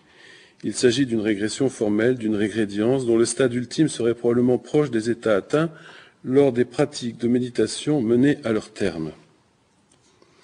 Bien entendu, il peut exister des phénomènes de contagion mentale, responsable de trans collectives. Par le passé, les tremblants de Namur, des Cévennes ou, les, tremblants de Saint-Médard ont fait couler beaucoup d'encre. Gardons à l'esprit cette notion de contagion qui est fructueuse lorsqu'on l'applique à la diade thérapeute-patient. En quoi ce qui est euh, nommé hypnose est-il une transe? L'hypnose médicale occidentale se caractérise essentiellement par une pure dissociation, au point que ces deux termes pourraient être synonymes. Le terme hypnose, comme vous savez, fut créé par un chirurgien euh, d'origine écossaise qui s'appelait Bred vers 1843. Et il a renommé ainsi un fameux sommeil lucide qui était chargé d'histoire depuis euh, le marquis de Puységur. À l'époque, il l'utilisait grâce euh, aux capacités d'induction d'analgésie créées par le phénomène, alors que l'éther ne fut employé pour la première fois en Amérique qu'en 1842 et en France en 1847. Donc l'hypnose s'apparente à une transe sèche, je dirais la plus dépouillée, dépossédée de tout attribut magico-religieux, euh, associé à notre culture, euh, dont il faudrait demander à un anthropologue africain, par exemple, ce qu'il en pense. De notre point de vue, elle est évidemment une transe laïque en quelque sorte. Comment se déclenche la transe? J'ai dit tout à l'heure qu'elle pouvait être tout à fait spontanée et naturelle. Et une fois qu'il est admis qu'il existe un état psychique de transe, la question est quand même de savoir comment on va le, générer euh, à la demande. Donc je, dis euh, que dans le contexte thérapeutique, il s'agit toujours d'une auto-transe, d'une auto-hypnose ou d'un état auto-hypnoïde. C'est-à-dire qu'au fin de compte, les consignes euh, vont être relayées par la personne qui va elle-même apprendre en quelque sorte à entrer dans cet état. Donc, euh, effectivement, il existe des méthodes d'induction qui en peuvent être permissives et qui, peuvent être aussi autoritaires. les techniques d'induction autoritaire sont centrées essentiellement sur le fait que l'opérateur veut prendre la direction des rêveries, entre guillemets, de la personne qui va être dissociée. C'est quelque chose qu'on n'utilise pas dans le cadre thérapeutique, mais qui va être utilisé par exemple dans le music hall, et dont on connaît les dérives possibles, euh, qui font d'ailleurs dans certains, dans certains pays, euh, l'hypnose est interdite dans les manifestations de foire, par exemple. Alors on sait que dans les rituels euh, traditionnels, bien entendu, ça va être la surstimulation sensorielle qui va amener la dissociation et on va utiliser des chants qui sont volontairement répétitifs, des tambours, des danses euh, qui vont créer une certaine confusion, un entraînement psychique, parfois même associé à des substances. Donc les techniques euh, occidentales n'utilisent que des méthodes permissives d'induction, dont je, dis souvent qu'elles sont une auto-hypnose, depuis l'abandon de l'hypnose cathartique ou suggestive du XIXe siècle. Donc, euh, les trans thérapeutiques occidentales sont à l'origine de nombreux courants psychothérapeutiques, en particulier des thérapies psychocorporelles. Euh, Caicedo, bien sûr, a nommé état sophronique euh, l'état requis pour la sophrologie, par exemple, mais on peut citer aussi la relaxation analytique dans les méthodes, différentes méthodes que vous connaissez. Et la question qu'on peut se poser, c'est qu'est-ce qui reste, est-ce qu'il reste dans la psychanalyse quelque chose de cet ordre ou non? Euh, Au fond, on peut, on peut se poser la question est-ce qu'il existe maintenant une hypnose post-analytique? Euh, sur laquelle l'analyse pourrait porter un regard euh, critique Ainsi, je vais aborder la question de, Freud et de l'hypnose pour voir ce que nous en disait Freud. Alors Freud dit abandonner l'hypnose, et il s'agit de savoir ce qu'il entend abandonner en fait. Est-ce bien l'hypnose telle que nous la définissons aujourd'hui, ou est-ce l'hypnotisme selon Charcot et à moindre degré celui de Bernheim, qui pratique essentiellement, Bernheim, la suggestion, avec ou sans recours à l'hypnose. On sait que Bernheim, lui, ne pensait pas du tout qu'il existait une quelconque hypnose, il pensait que c'était juste un phénomène suggestif. De fait, Freud indique clairement que son action repose essentiellement sur l'effet de la suggestion et non pas sur celui de la remémoration ou de la réactualisation.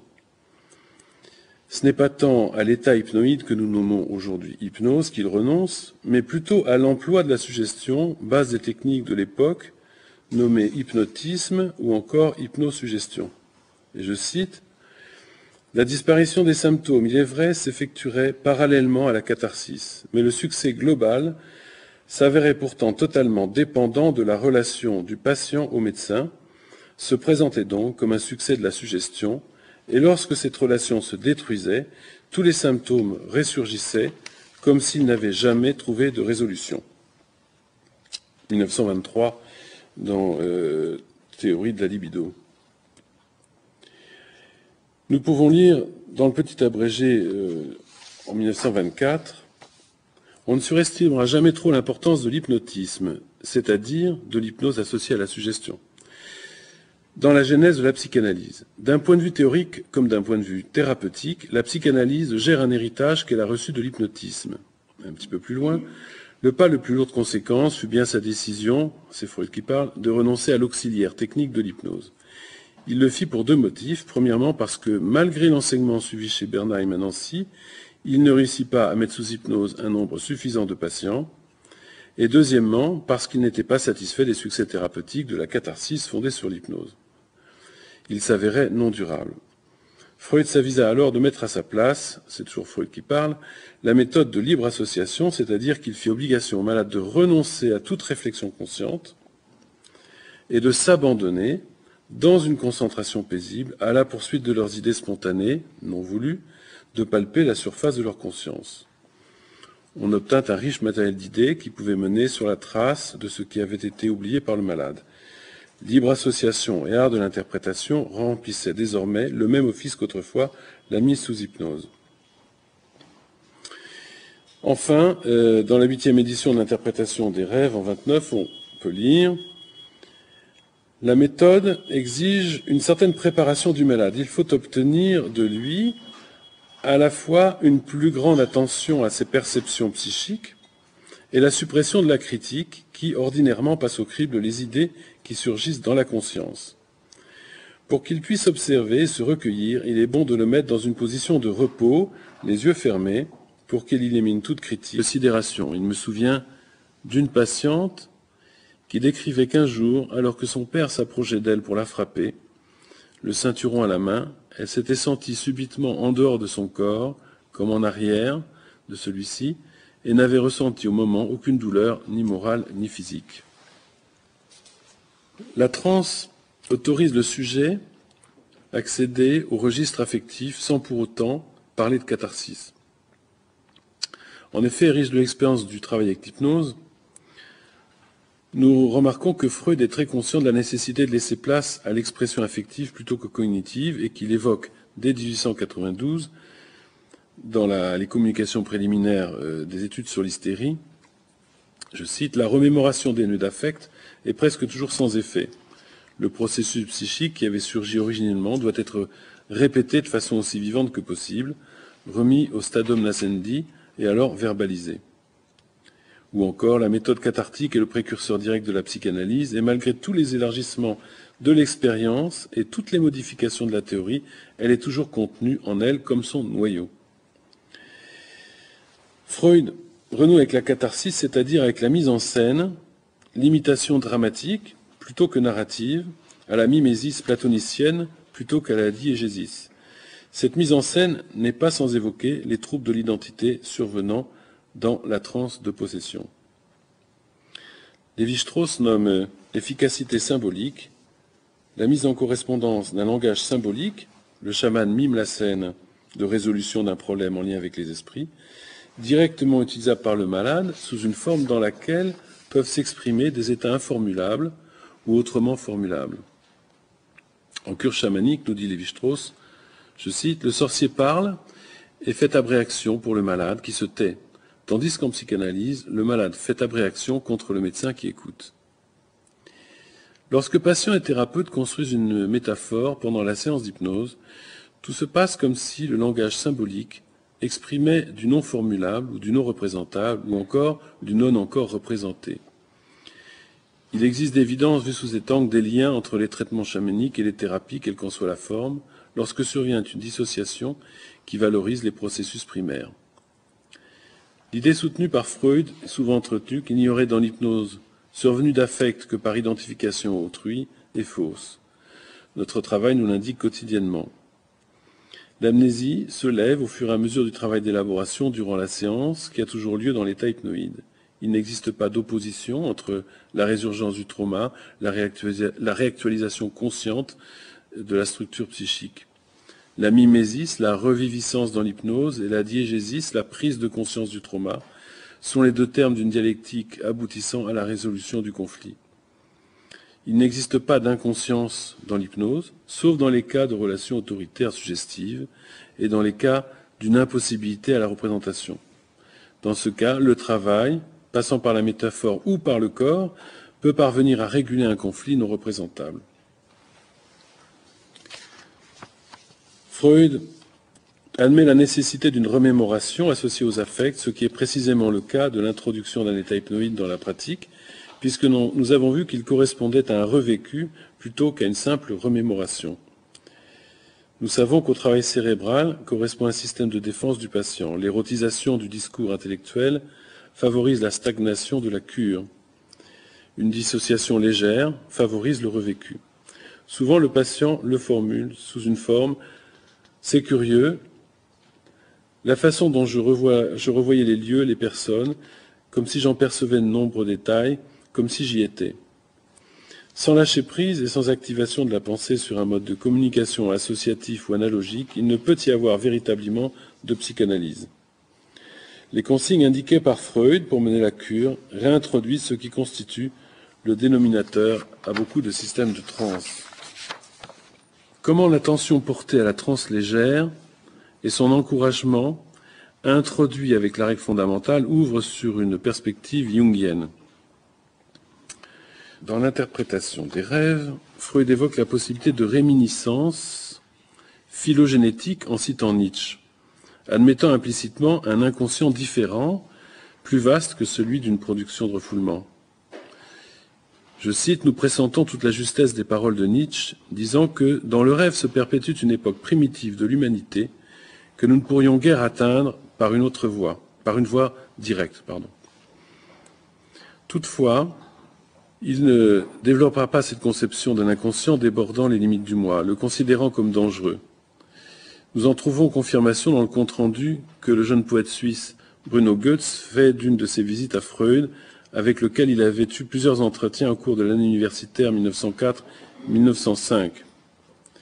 Goetz, étudiant à Vienne, lui avait fait part de l'enthousiasme que lui avait inspiré la lecture de la Bhagavad Gita donnée par Léopold von Schröder, érudite en sanskrit. Et euh, Goetz en fait un, rapport. Freud s'agita alors vivement, selon ses dires, commença à déambuler et fit un long commentaire. Prenez garde, jeune homme, prenez garde, vous avez raison d'être enthousiaste. La bouche exprime l'abondance du cœur. Votre cœur gagnera toujours le jour. Mais gardez la tête froide, que fort heureusement vous avez encore. Restez sur vos gardes. Un intellect clair et brillant est un don des plus précieux. Le poète de la Bhagavad Gita serait le premier à affirmer cette vérité. Toujours être sur ses gardes, toujours garder vos yeux ouverts, toujours être conscient de toute chose, être constant dans l'effort. Ne vous laissez jamais éblouir, ne vous laissez jamais être paralysé par la confusion. L'émotion ne doit pas devenir une auto-anesthésie. Le principe de Dostoïevski, il est très bien de plonger dans les abysses la tête la première, mais l'enthousiasme qu'il a éveillé en Europe est basé sur un triste malentendu. La Bhagavad Gita est un grand et profond poème possédant des profondeurs effrayantes.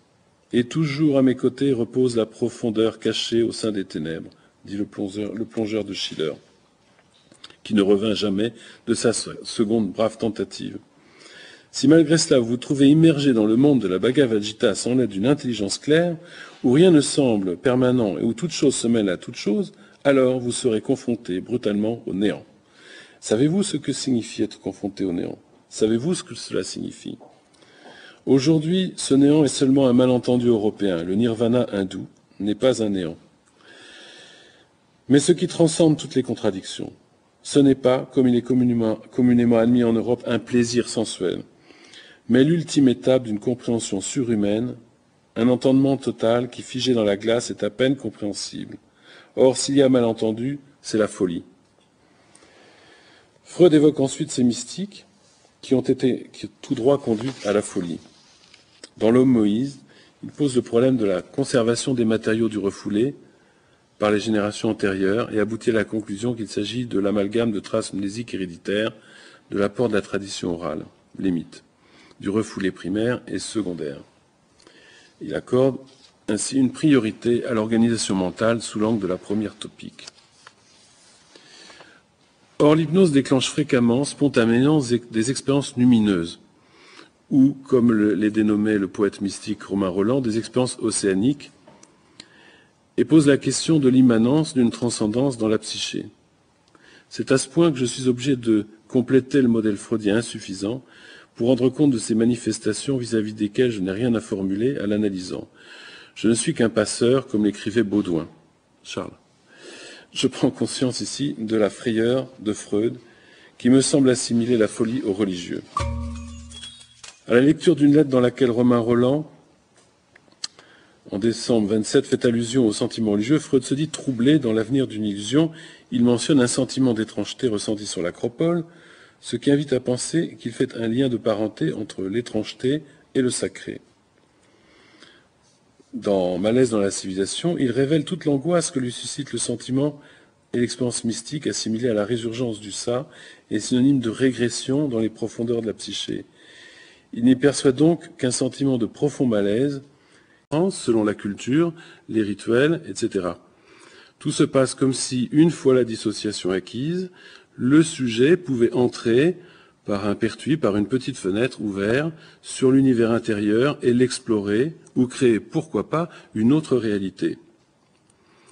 Il n'existe jamais dans la transe de clivage absolu entre le vécu conscient interne et la vigilance, sauf dans des cas extrêmes, en particulier lors de la prise de psychodysleptiques, qui sont des drogues qui déstructurent et fragmentent le moi. L'ensemble des caractéristiques euh, des phénomènes décrits obéit, pourrait-on dire, aux règles mathématiques des, courbes asymptotiques. Absorption et désorientation s'approfondissent très progressivement. Toutefois, dans certains états de transe chamanique, mystique, la dissociation est si profonde que le corps peut être l'objet de stigmates sans aucune réaction du sujet. Cela n'est pas sans rappeler les manifestations d'absence ou d'anesthésie, tant physique que psychique, de l'autisme ou de certains états psychotiques. Le sujet est alors comme absent euh, à son environnement, à son entité corporelle, tandis que le moi se dissout au sein de processus archaïques. Il s'agit d'une régression formelle, d'une régrédience dont le stade ultime serait probablement proche des états atteints lors des pratiques de méditation menées à leur terme. Bien entendu, il peut exister des phénomènes de contagion mentale, responsable de trans collectives. Par le passé, les tremblants de Namur, des Cévennes ou, les, tremblants de Saint-Médard ont fait couler beaucoup d'encre. Gardons à l'esprit cette notion de contagion qui est fructueuse lorsqu'on l'applique à la diade thérapeute-patient. En quoi ce qui est euh, nommé hypnose est-il une transe? L'hypnose médicale occidentale se caractérise essentiellement par une pure dissociation, au point que ces deux termes pourraient être synonymes. Le terme hypnose, comme vous savez, fut créé par un chirurgien euh, d'origine écossaise qui s'appelait Bred vers 1843. Et il a renommé ainsi un fameux sommeil lucide qui était chargé d'histoire depuis euh, le marquis de Puységur. À l'époque, il l'utilisait grâce euh, aux capacités d'induction d'analgésie créées par le phénomène, alors que l'éther ne fut employé pour la première fois en Amérique qu'en 1842 et en France en 1847. Donc l'hypnose s'apparente à une transe sèche, je dirais la plus dépouillée, dépossédée de tout attribut magico-religieux, euh, associé à notre culture, euh, dont il faudrait demander à un anthropologue africain, par exemple, ce qu'il en pense. De notre point de vue, elle est évidemment une transe laïque en quelque sorte. Comment se déclenche la transe? J'ai dit tout à l'heure qu'elle pouvait être tout à fait spontanée et naturelle. Et une fois qu'il est admis qu'il existe un état psychique de transe, la question est quand même de savoir comment on va le, générer euh, à la demande. Donc je, dis euh, que dans le contexte thérapeutique, il s'agit toujours d'une auto-trans, d'une auto-hypnose ou d'un état auto-hypnoïde. C'est-à-dire qu'au fin de compte, les consignes euh, vont être relayées par la personne qui va elle-même apprendre en quelque sorte à entrer dans cet état. Donc, euh, effectivement, il existe des méthodes d'induction qui en peuvent être permissives et qui, peuvent être aussi autoritaires. Euh, les techniques d'induction autoritaire sont centrées essentiellement sur le fait que l'opérateur veut prendre euh, la direction des rêveries, entre guillemets, de la personne qui va être dissociée. C'est quelque chose qu'on n'utilise pas dans le cadre thérapeutique, mais qui va être utilisé par exemple dans le music hall, et dont on connaît les dérives possibles. Euh, qui font d'ailleurs dans certains, dans certains pays, euh, l'hypnose est interdite dans les manifestations de foire, par exemple. Alors on sait que dans les rituels euh, traditionnels, bien entendu, ça va être la surstimulation sensorielle qui va amener la dissociation, et on va utiliser des chants qui sont volontairement répétitifs, des tambours, des danses, euh, qui vont créer une certaine confusion, un entraînement psychique, parfois même associé à des substances. Donc les techniques euh, occidentales n'utilisent que des méthodes permissives d'induction, dont je, dis souvent qu'elles sont une auto-hypnose, depuis l'abandon de l'hypnose cathartique ou suggestive du XIXe siècle. Donc euh, les trans thérapeutiques occidentales sont à l'origine de nombreux courants psychothérapeutiques, en particulier des thérapies psychocorporelles. Euh, bien sûr, a nommé état sophronique euh, euh, l'état requis pour la sophrologie, par exemple, mais on peut citer aussi la relaxation analytique dans les méthodes, euh, différentes méthodes euh, que vous connaissez. Et la question qu'on peut se poser, c'est qu'est-ce qui reste, est-ce qu'il reste dans la psychanalyse quelque chose de cet ordre ou non? Au fond, on peut, on peut se poser la question est-ce qu'il existe maintenant une hypnose post-analytique? Sur laquelle l'analyse pourrait porter un regard euh, critique. Ainsi, euh, je vais aborder la question de, Freud et de l'hypnose pour voir ce que nous en disait Freud. Alors Freud dit abandonner l'hypnose, et il s'agit de savoir ce qu'il entend abandonner en fait. Est-ce bien l'hypnose telle que nous la définissons aujourd'hui, ou est-ce l'hypnotisme selon Charcot et à moindre degré celui de Bernheim, qui pratique essentiellement, Bernheim, la suggestion, avec ou sans recours à l'hypnose. On sait que Bernheim, lui, ne pensait pas du tout qu'il existait une quelconque hypnose, il pensait que c'était juste un phénomène suggestif. De fait, Freud indique clairement que son action repose essentiellement sur l'effet de la suggestion et non pas sur celui de la remémoration ou de la réactualisation. Ce n'est pas tant à l'état hypnoïde que nous nommons aujourd'hui hypnose qu'il renonce, mais plutôt à l'emploi de la suggestion, base des techniques de l'époque, nommé hypnotisme ou encore hypnosuggestion.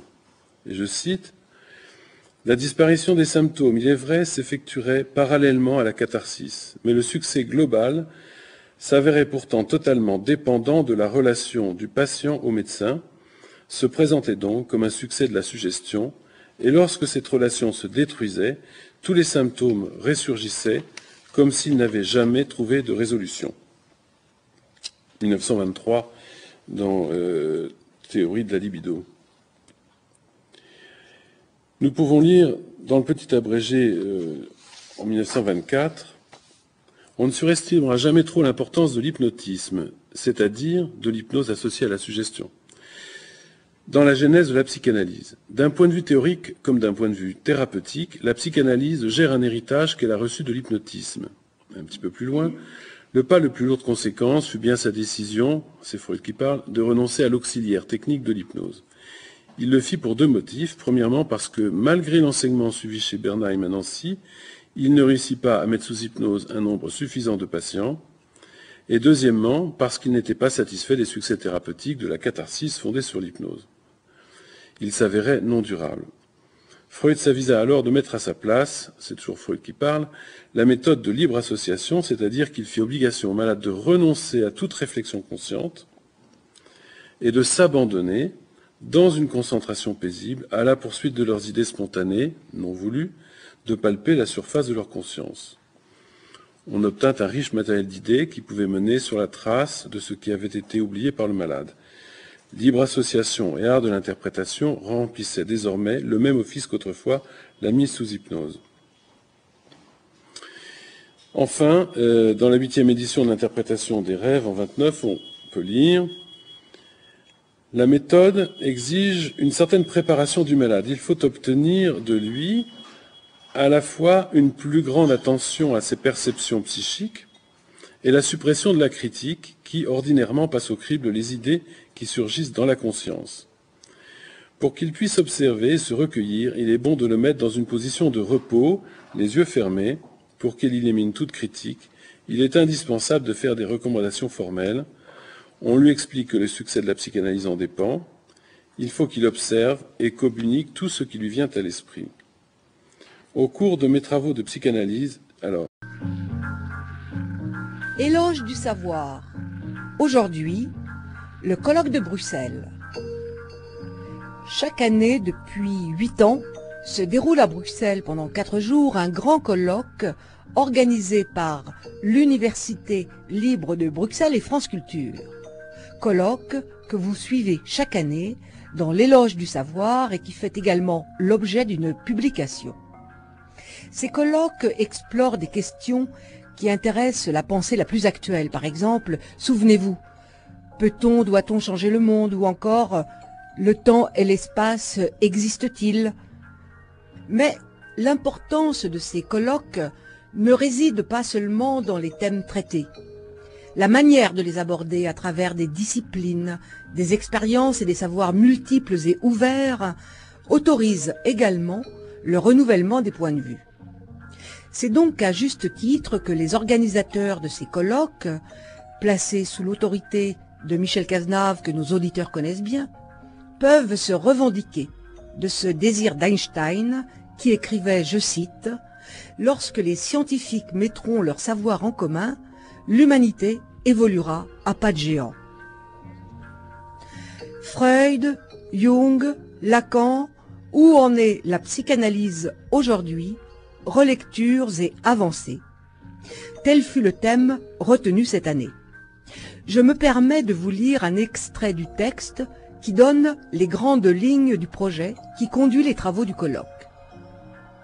Chacun à sa manière, Freud en fondant la psychanalyse en tant que telle, Jung en se séparant de Freud sur la problématique du religieux et du mythologique, Lacan en procédant à une relecture de Freud qui réévalue ce dernier tout en en faisant ressortir les structures logiques implicites, a élaboré une théorie sui generis qui n'a pas fini de montrer sa fécondité jusqu'à aujourd'hui même. Pourtant, revisiter ces monuments afin de faire le point sur ce qu'ils ont induit et, éventuellement, révéler les angles morts ou les butées de leurs pensées en vue de les retravailler dans une perspective contemporaine ne peut consister dans une simple récitation des textes sacrés. Il s'agit donc de remettre en travail l'œuvre de ces trois fondateurs afin de cerner d'autant mieux ce qui, aujourd'hui, peut réunir ou, au contraire, séparer ceux qui se veulent leurs héritiers. Fin de citation.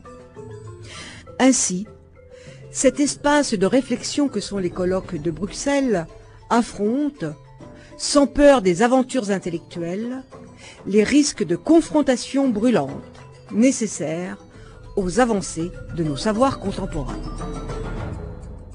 Édouard Collot est médecin, psychiatre et psychothérapeute.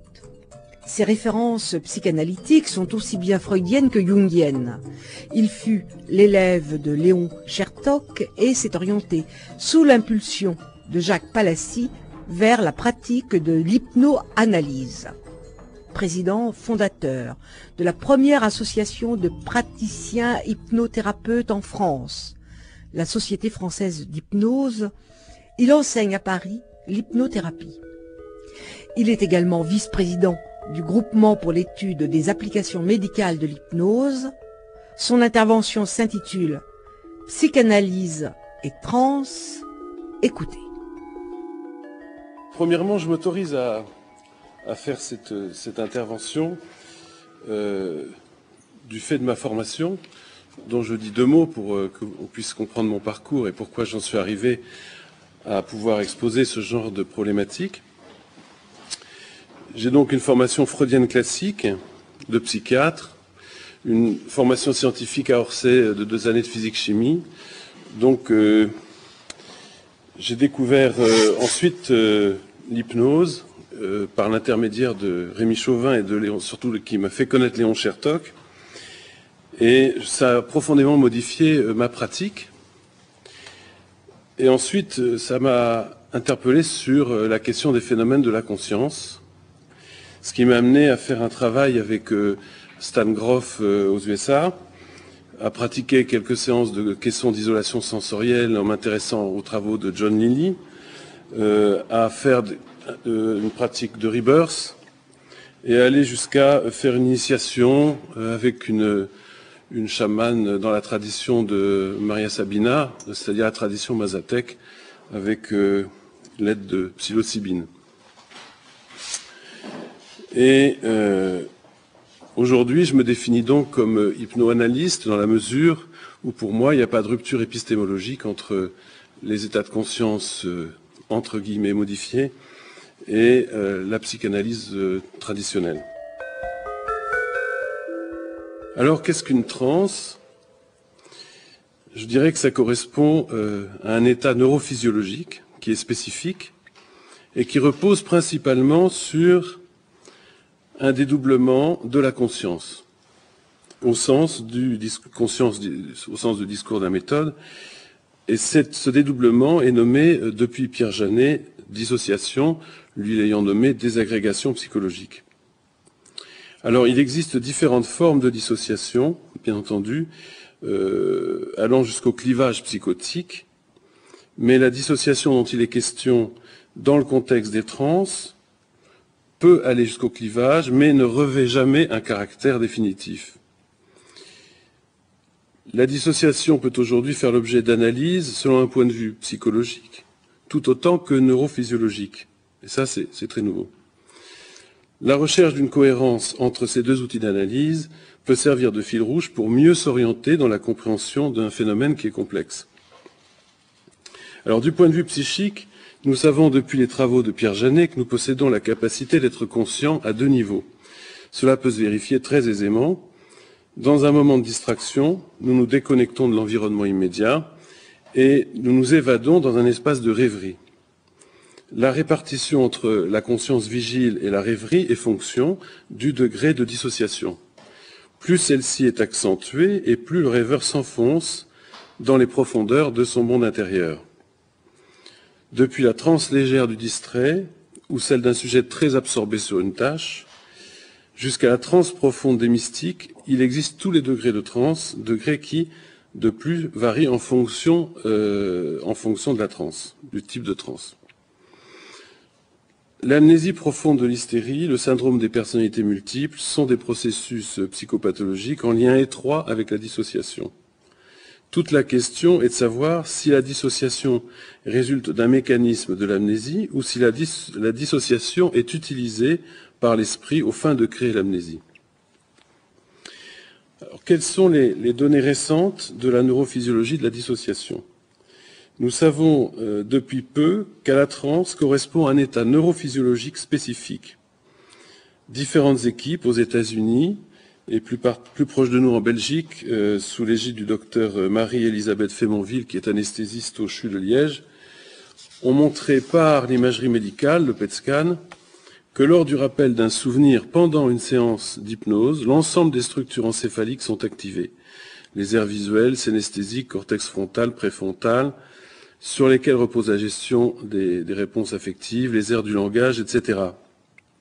Tandis que le même récit, lors d'un échange traditionnel, n'active principalement que les aires du langage situées dans l'hémisphère gauche et le droitier. La dissociation autorise une nouvelle répartition d'énergie psychique, une hypervigilance intérieure qui contraste avec une faible présence au monde extérieur. J'aimerais maintenant évoquer la question du rapport de la dissociation au trans, dans le sens où si la, la dissociation est le phénomène nécessaire à la trans, il n'est pas suffisant. Donc est-il légitime de nommer trans des manifestations très différentes? Oui, car les trans se caractérisent d'une part selon le mécanisme neurophysiologique, qui est un dénominateur commun, la dissociation, et en second lieu par ce qui caractérise l'objet de la l'hypnose à l'origine d'un malentendu chez de nombreux psychanalystes. Il s'est développé une, certaine forme d'ostracisme vis-à-vis de l'hypnose due à l'ignorance de la véritable nature neurophysiologique du phénomène et à la représentation de l'hypnose comme un outil désuet propice à la manipulation psychologique dans un contexte de relations autoritaires, suggestives et douteuses sur le plan déontologique. La réalité est tout autre. Ce n'est pas l'hypnose qui serait en elle-même une forme de suggestion, mais bien l'intention du thérapeute qui se manifeste dans ce contexte par une prise de pouvoir sur le patient, expression d'un fantasme de toute puissance, susceptible de s'exprimer d'ailleurs dans n'importe quel contexte thérapeutique. Euh, à l'état hypnotique correspond à un lâcher-prise, un abandon relatif de soi dans un état de rêverie qui demande beaucoup de respect et de compréhension, d'empathie de la part du thérapeute. Parenthèse, il ne s'agit pas euh, non plus d'une empathie euh, dégoulinante, mais d'un accompagnement bienveillant et attentif. Ainsi que le formulait Palacci, il est compréhensible que cet état premier, fusionnel, symbiotique, où l'on est pris en charge par l'autre, représente un attrait, du fait qu'il gratifie un désir inconscient, de même qu'une menace pour le sujet de la perte de son identité. Et là, euh, il faudrait faire une extension que je n'aurai pas le temps de faire sur euh, effectivement cette, euh, cette, communion identitaire qui va faire qu'il y a un partage à un niveau à la fois subtil et très archaïque entre le thérapeute et son patient. La relation aux caractéristiques les plus proches de ces états de transe est la relation mère-enfant, relation empreinte d'une forme de communication intersubjective extrêmement particulière, tout aussi remarquable dans les états hypnoïdes. Nous remarquons ce transfert de compétences de la mère à l'enfant et l'acquisition des besoins de l'enfant par la mère. Cette relation très spécifique est à mon sens à l'origine de l'élaboration du concept de transfert le transfert est l'analyse psychodynamique du rapport hypnotique décrit dès le XVIIIe siècle. De nombreux auteurs postérieurs à Freud ont d'ailleurs insisté sur ce point qui pourrait constituer les prémices de ce qui fut nommé plus tard le transfert narcissique. Citons par exemple Mélanie Klein, euh, Margaret Mahler, Winnicott, Kohut, euh, Searles. Quant à la suggestion en elle-même, si nous nous reportons à l'ouvrage Psychologie des masses, Freud la conçoit comme une sorte de mimésis euh, corporelle, réflexe et en ce sens inconscient d'autrui. Là s'arrête l'explication car la relation d'objet libidinal n'apporte pas davantage d'explication. Nous savons donc aujourd'hui que la fameuse neutralité n'existe pas et c'est pour ça que je disais, en ce qui me concerne, je préfère parler d'accompagnement bienveillant associé à la règle de ne pas précéder le patient. L'hypnose et plus généralement euh, les trans ne sont pas réductibles à un effet de communication ni de suggestion. Comme le pensait Bernheim, pour qui l'état d'hypnose n'existait pas, mais était un simple état de suggestibilité. L'hypnose ne peut se réduire simplement au concept de transfert, comme le, suggère notre ami Jacques Seda. Elle n'est pas en soi un transfert, mais déjà un état neurophysiologique spécifique de survenue spontanée. Cet état peut simplement être encouragé, stimulé. Il n'est d'ailleurs que d'observer l'état des médiums ou des médecines pendant leur séance pour s'en convaincre. Là, je cite euh, François Laplantine, l'anthropologue, qui, nous dit L'acte de voyance est un scénario comparable à celui de la création, du rêve, comparable à la production d'une œuvre littéraire, d'un tableau. L'acte de voyance, comme l'œuvre, permettrait de découvrir et d'inventer des correspondances et des différences entre le monde intérieur et la, réalité externe. L'opinion que l'état hypnoïde supprime les résistances est fausse. Le cas, d'ailleurs euh, cité par Freud de Mathilde H, en est un exemple. Freud, malgré tous ses efforts, et alors qu'il la décrit comme étant en hypnose profonde, ne peut obtenir de réponse de la part de la patiente. L'hypnose, que je nommerai donc, vous l'avez compris plus volontiers l'état hypnoïde, est un état auquel les sujets très défendus ne parviennent pas. Ils n'accèdent pas au lâcher-prise. C'est précisément au cours de l'expérience du lâcher-prise que le sujet entre paisiblement dans cet état dissocié. Et cette phase peut demander des mois de travail. La question de la dissociation euh, est ambiguë dans la, la représentation freudienne. On sait que Morton Prince conteste l'explication de Freud concernant la dissociation.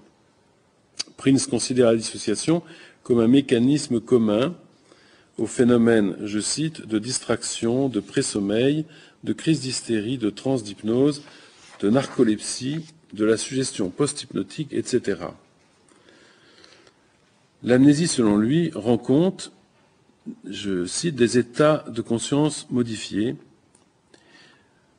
L'oubli d'un rêve, dit-il, est seulement un exemple particulier d'amnésie propre aux états dissociés.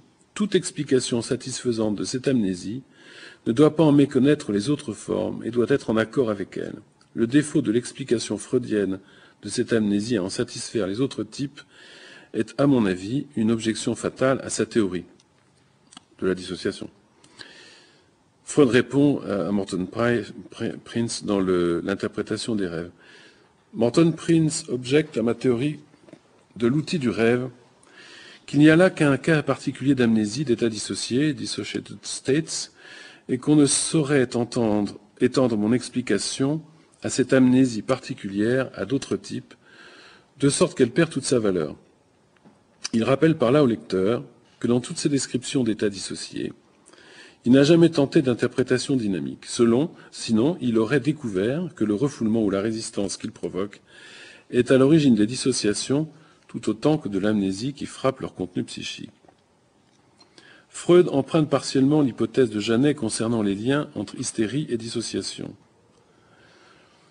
Et il cite, et je cite Freud, qui dit Janet caractérisa l'hystérie par une incapacité, par lui supposée constitutionnelle, à maintenir la cohésion des processus psychiques, d'où provenait une désintégration, dissociation de la vie psychique. Mais il est convaincu d'un mécanisme psychodynamique à l'œuvre pour expliquer cette dissociation, le refoulement qu'il généralise jusqu'à faire une caractéristique des névroses, dont l'hypnose serait un modèle expérimental.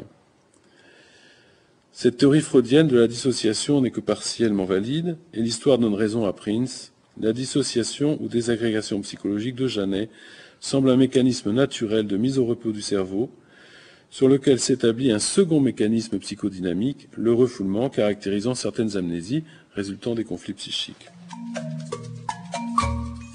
Ernest Hilgard a montré, dans les années 1980, en mesurant la variation du seuil d'un stimulus douloureux, sans et avec induction d'hypnose, qu'une partie du vécu douloureux d'un sujet est absent pendant l'hypnose, mais peut réapparaître dans une séance d'hypnose a posteriori.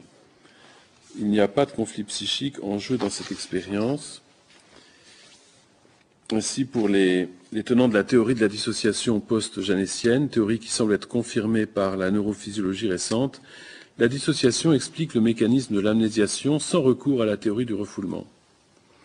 Il garde définit la notion d'observateur caché pour rendre compte de l'amnésie. Le refoulement serait alors à l'origine d'un cas particulier d'amnésie. Le sujet manifeste clairement, comme le suggérait la théorie de Janet, plusieurs niveaux de conscience. Une première conclusion serait que l'hypnose, grâce à un mécanisme de focalisation sur un objet interne, nous éloigne de l'ensemble de nos perceptions immédiates, douloureuses, éventuellement physiques et ou psychiques. Ce mécanisme est d'ailleurs bien connu et décrit lors d'expériences traumatiques ou de sidération. Il me souvient d'une patiente qui décrivait qu'un jour, alors que son père s'approchait d'elle pour la frapper, le ceinturon à la main, elle s'était sentie subitement en dehors de son corps, comme en arrière de celui-ci, et n'avait ressenti au moment aucune douleur, ni morale, ni physique. La transe autorise le sujet à accéder au registre affectif sans pour autant parler de catharsis. Phrase très importante, j'ai observé que l'attitude psychique d'un homme qui réfléchit est très différente de celle d'un homme qui observe ses propres réflexions. Et là, clairement, on parle de dissociation.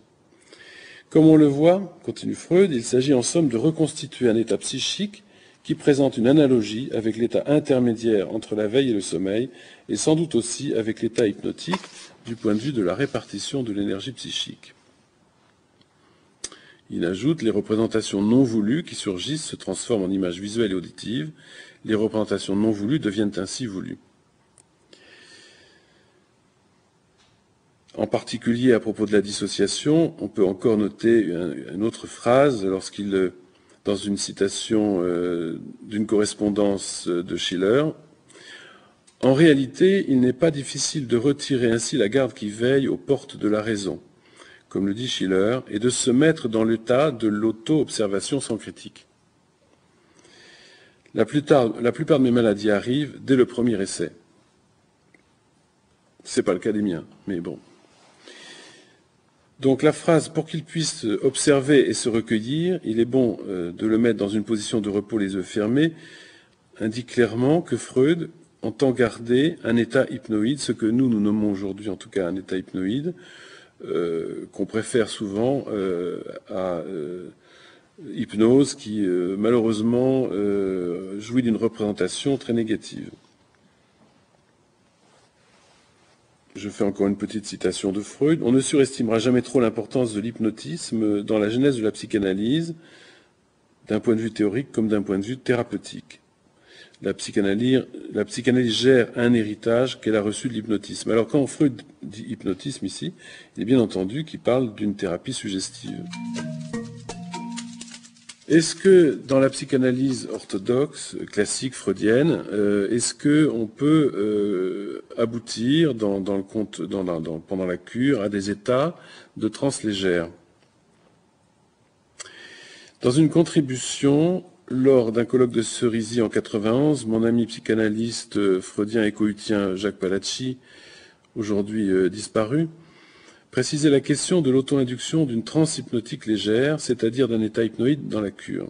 Je cite L'association libre, en dehors du caractère particulier de communication, implique le renoncement relatif à une parole par rapport à l'autre, une régression volontaire, qui peut trouver son origine dans le renoncement au contrôle du conscient qui a lieu dans l'état hypnotique ancêtre primitif de l'association libre. De même que celle-ci, il a pour but d'activer le processus primaire de fonctionnement mental, de provoquer une forme de clivage de la personne, de plus de favoriser une relation d'objet précoce, une sorte de relation symbiotique fusionnelle. De même qu'une remémoration plus ancienne avec la mobilisation d'affects premiers. Tout ceci dans le contexte de phénomènes transférentiels variés. En pratique thérapeutique, la libre association favorise le lâcher-prise et le laisser advenir. Elle favorise la survenue d'un état de transe légère, tout comme en hypnothérapie, où elle survient grâce à des consignes de relaxation, d'attention portée sur la respiration, sur les sensations corporelles ou sur des images mentales apaisantes. Le thérapeute peut amener le patient dans une métaphore, un rêve agréable, lui suggérant ainsi au passage quelques ouvertures, quelques voies d'exploration de son univers intérieur. Cette introduction, qui porte le nom d'induction, complète dans l'hypnoanalyse les consignes habituelles d'une règle fondamentale. Examinons euh, rapidement maintenant la question du rapport hypnotique euh, et du transfert et de la transe. Nous savons que la transe se communique d'une personne à l'autre au sein d'un groupe. Qu'en est-il entre le patient et son thérapeute, diade ou monade? Et là, je cite, Freud, l'expérience montra rapidement que le médecin analysant se comporte ici de la façon la plus adéquate s'il s'abandonne lui-même dans un état d'attention uniformément flottante à sa propre activité mentale inconsciente. Évite le plus possible de réfléchir, évite le plus possible de réfléchir, et d'élaborer des attentes conscientes, ne veut de ce qu'il a entendu rien fixer en particulier dans sa mémoire et capte de la sorte l'inconscient du patient avec son propre inconscient. On remarquera alors, quand les circonstances n'étaient pas trop défavorables, que les idées subites du patient avançaient par tâtonnement, en quelque sorte comme des allusions vers un thème donné, et l'on n'eut plus soi-même qu'à oser un pas de plus en avant pour deviner, pour deviner, et pouvoir communiquer au point, au patient, pardon, ce qui lui était à lui-même caché. Freud recommande au thérapeute d'être dans un état mental particulier. Or, cet état est précisément un état de translégère caractérisé par cette dissociation qui favorise cette écoute au second degré de l'esprit et non plus de la lettre. Palacci insiste sur le concept d'empathie introspective, caractérisant le relationnel de la cure et considère à la lumière de la théorie des transferts narcissiques qu'il est permis de supposer, à propos de la nature et de la relation hypnotique, je cite qu'il s'agit là d'un processus de réactivation de la relation d'objet narcissique prédipienne, d'une déstructuration partielle où les limites psychiques entre le sujet et l'autre, l'objet, se confondent.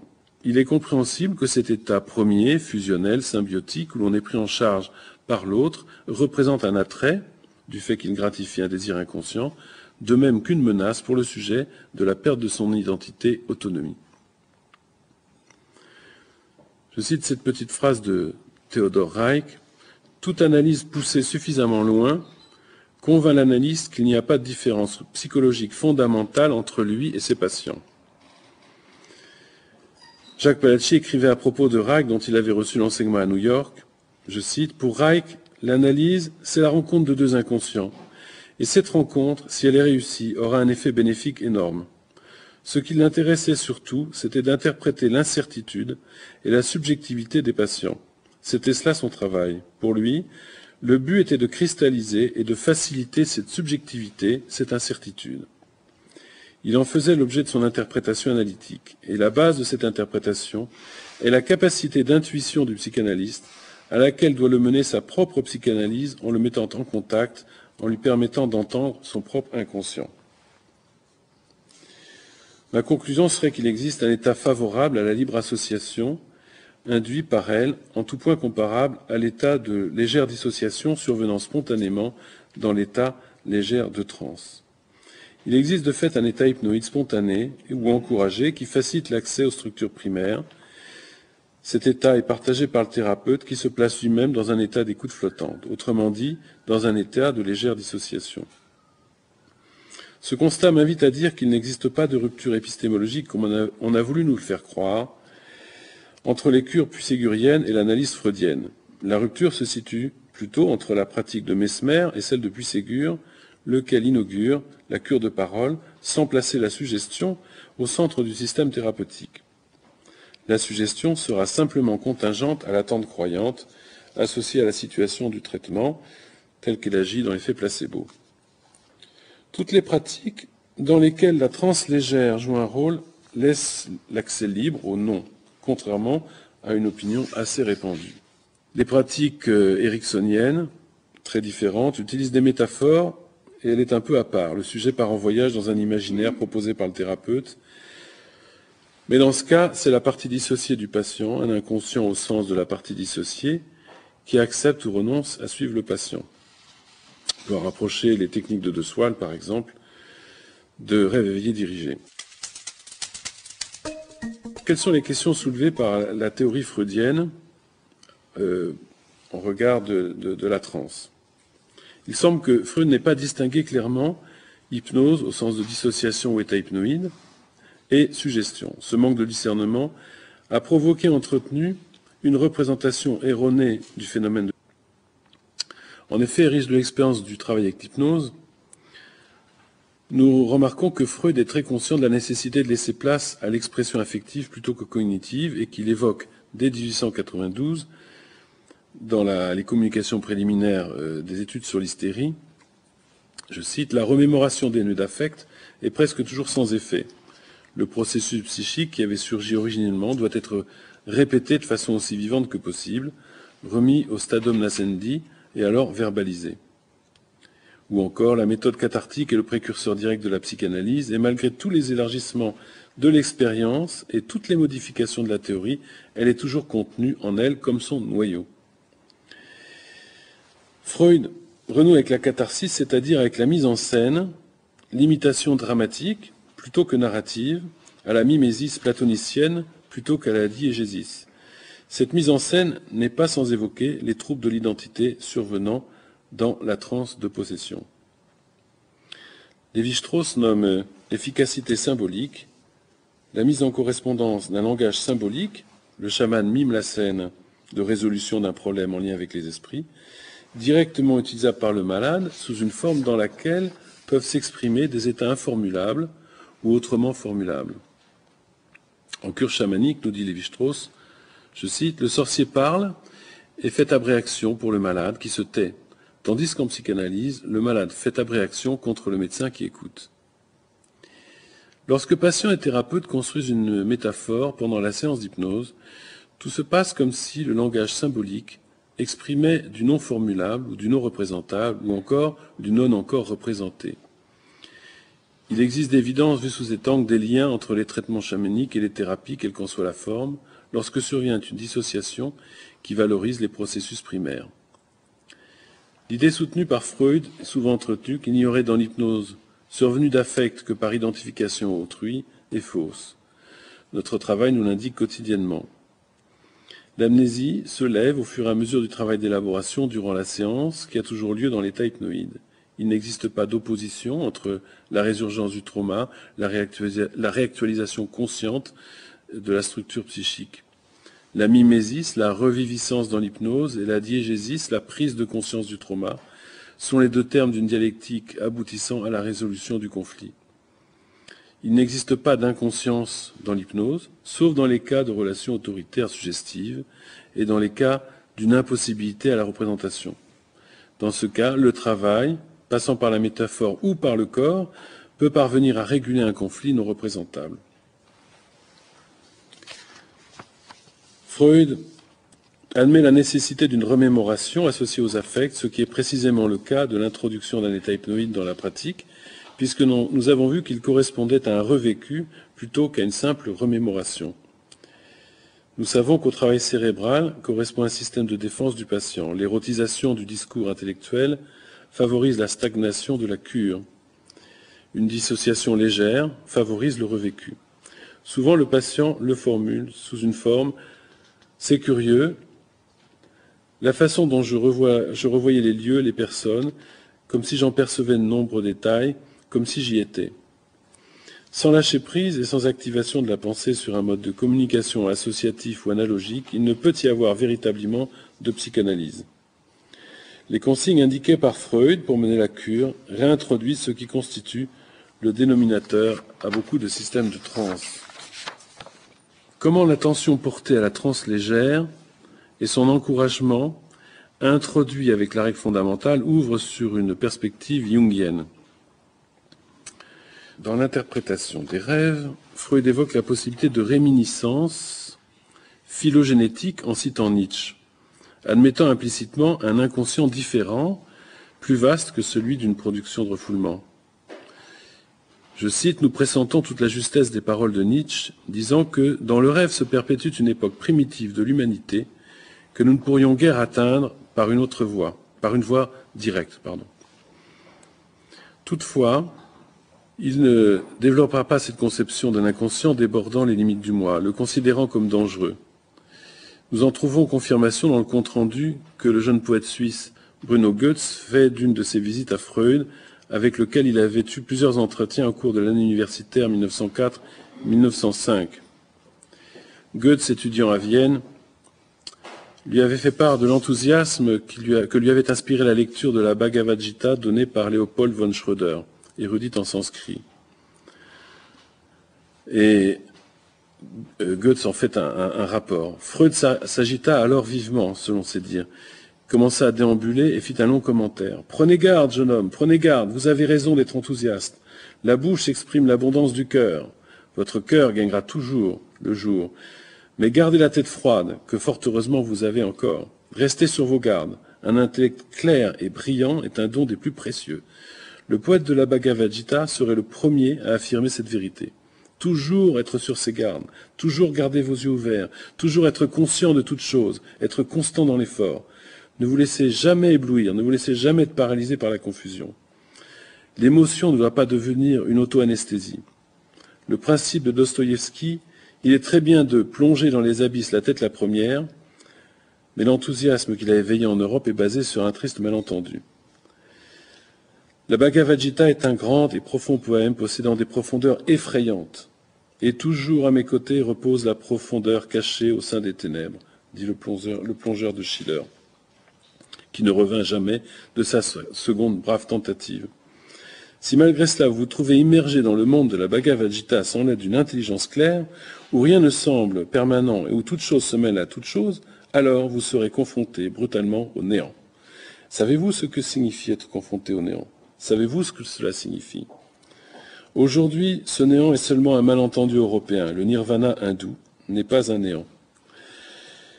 Mais ce qui transcende toutes les contradictions, ce n'est pas, comme il est communément, admis en Europe, un plaisir sensuel mais l'ultime étape d'une compréhension surhumaine, un entendement total qui, figé dans la glace, est à peine compréhensible. Or, s'il y a malentendu, c'est la folie.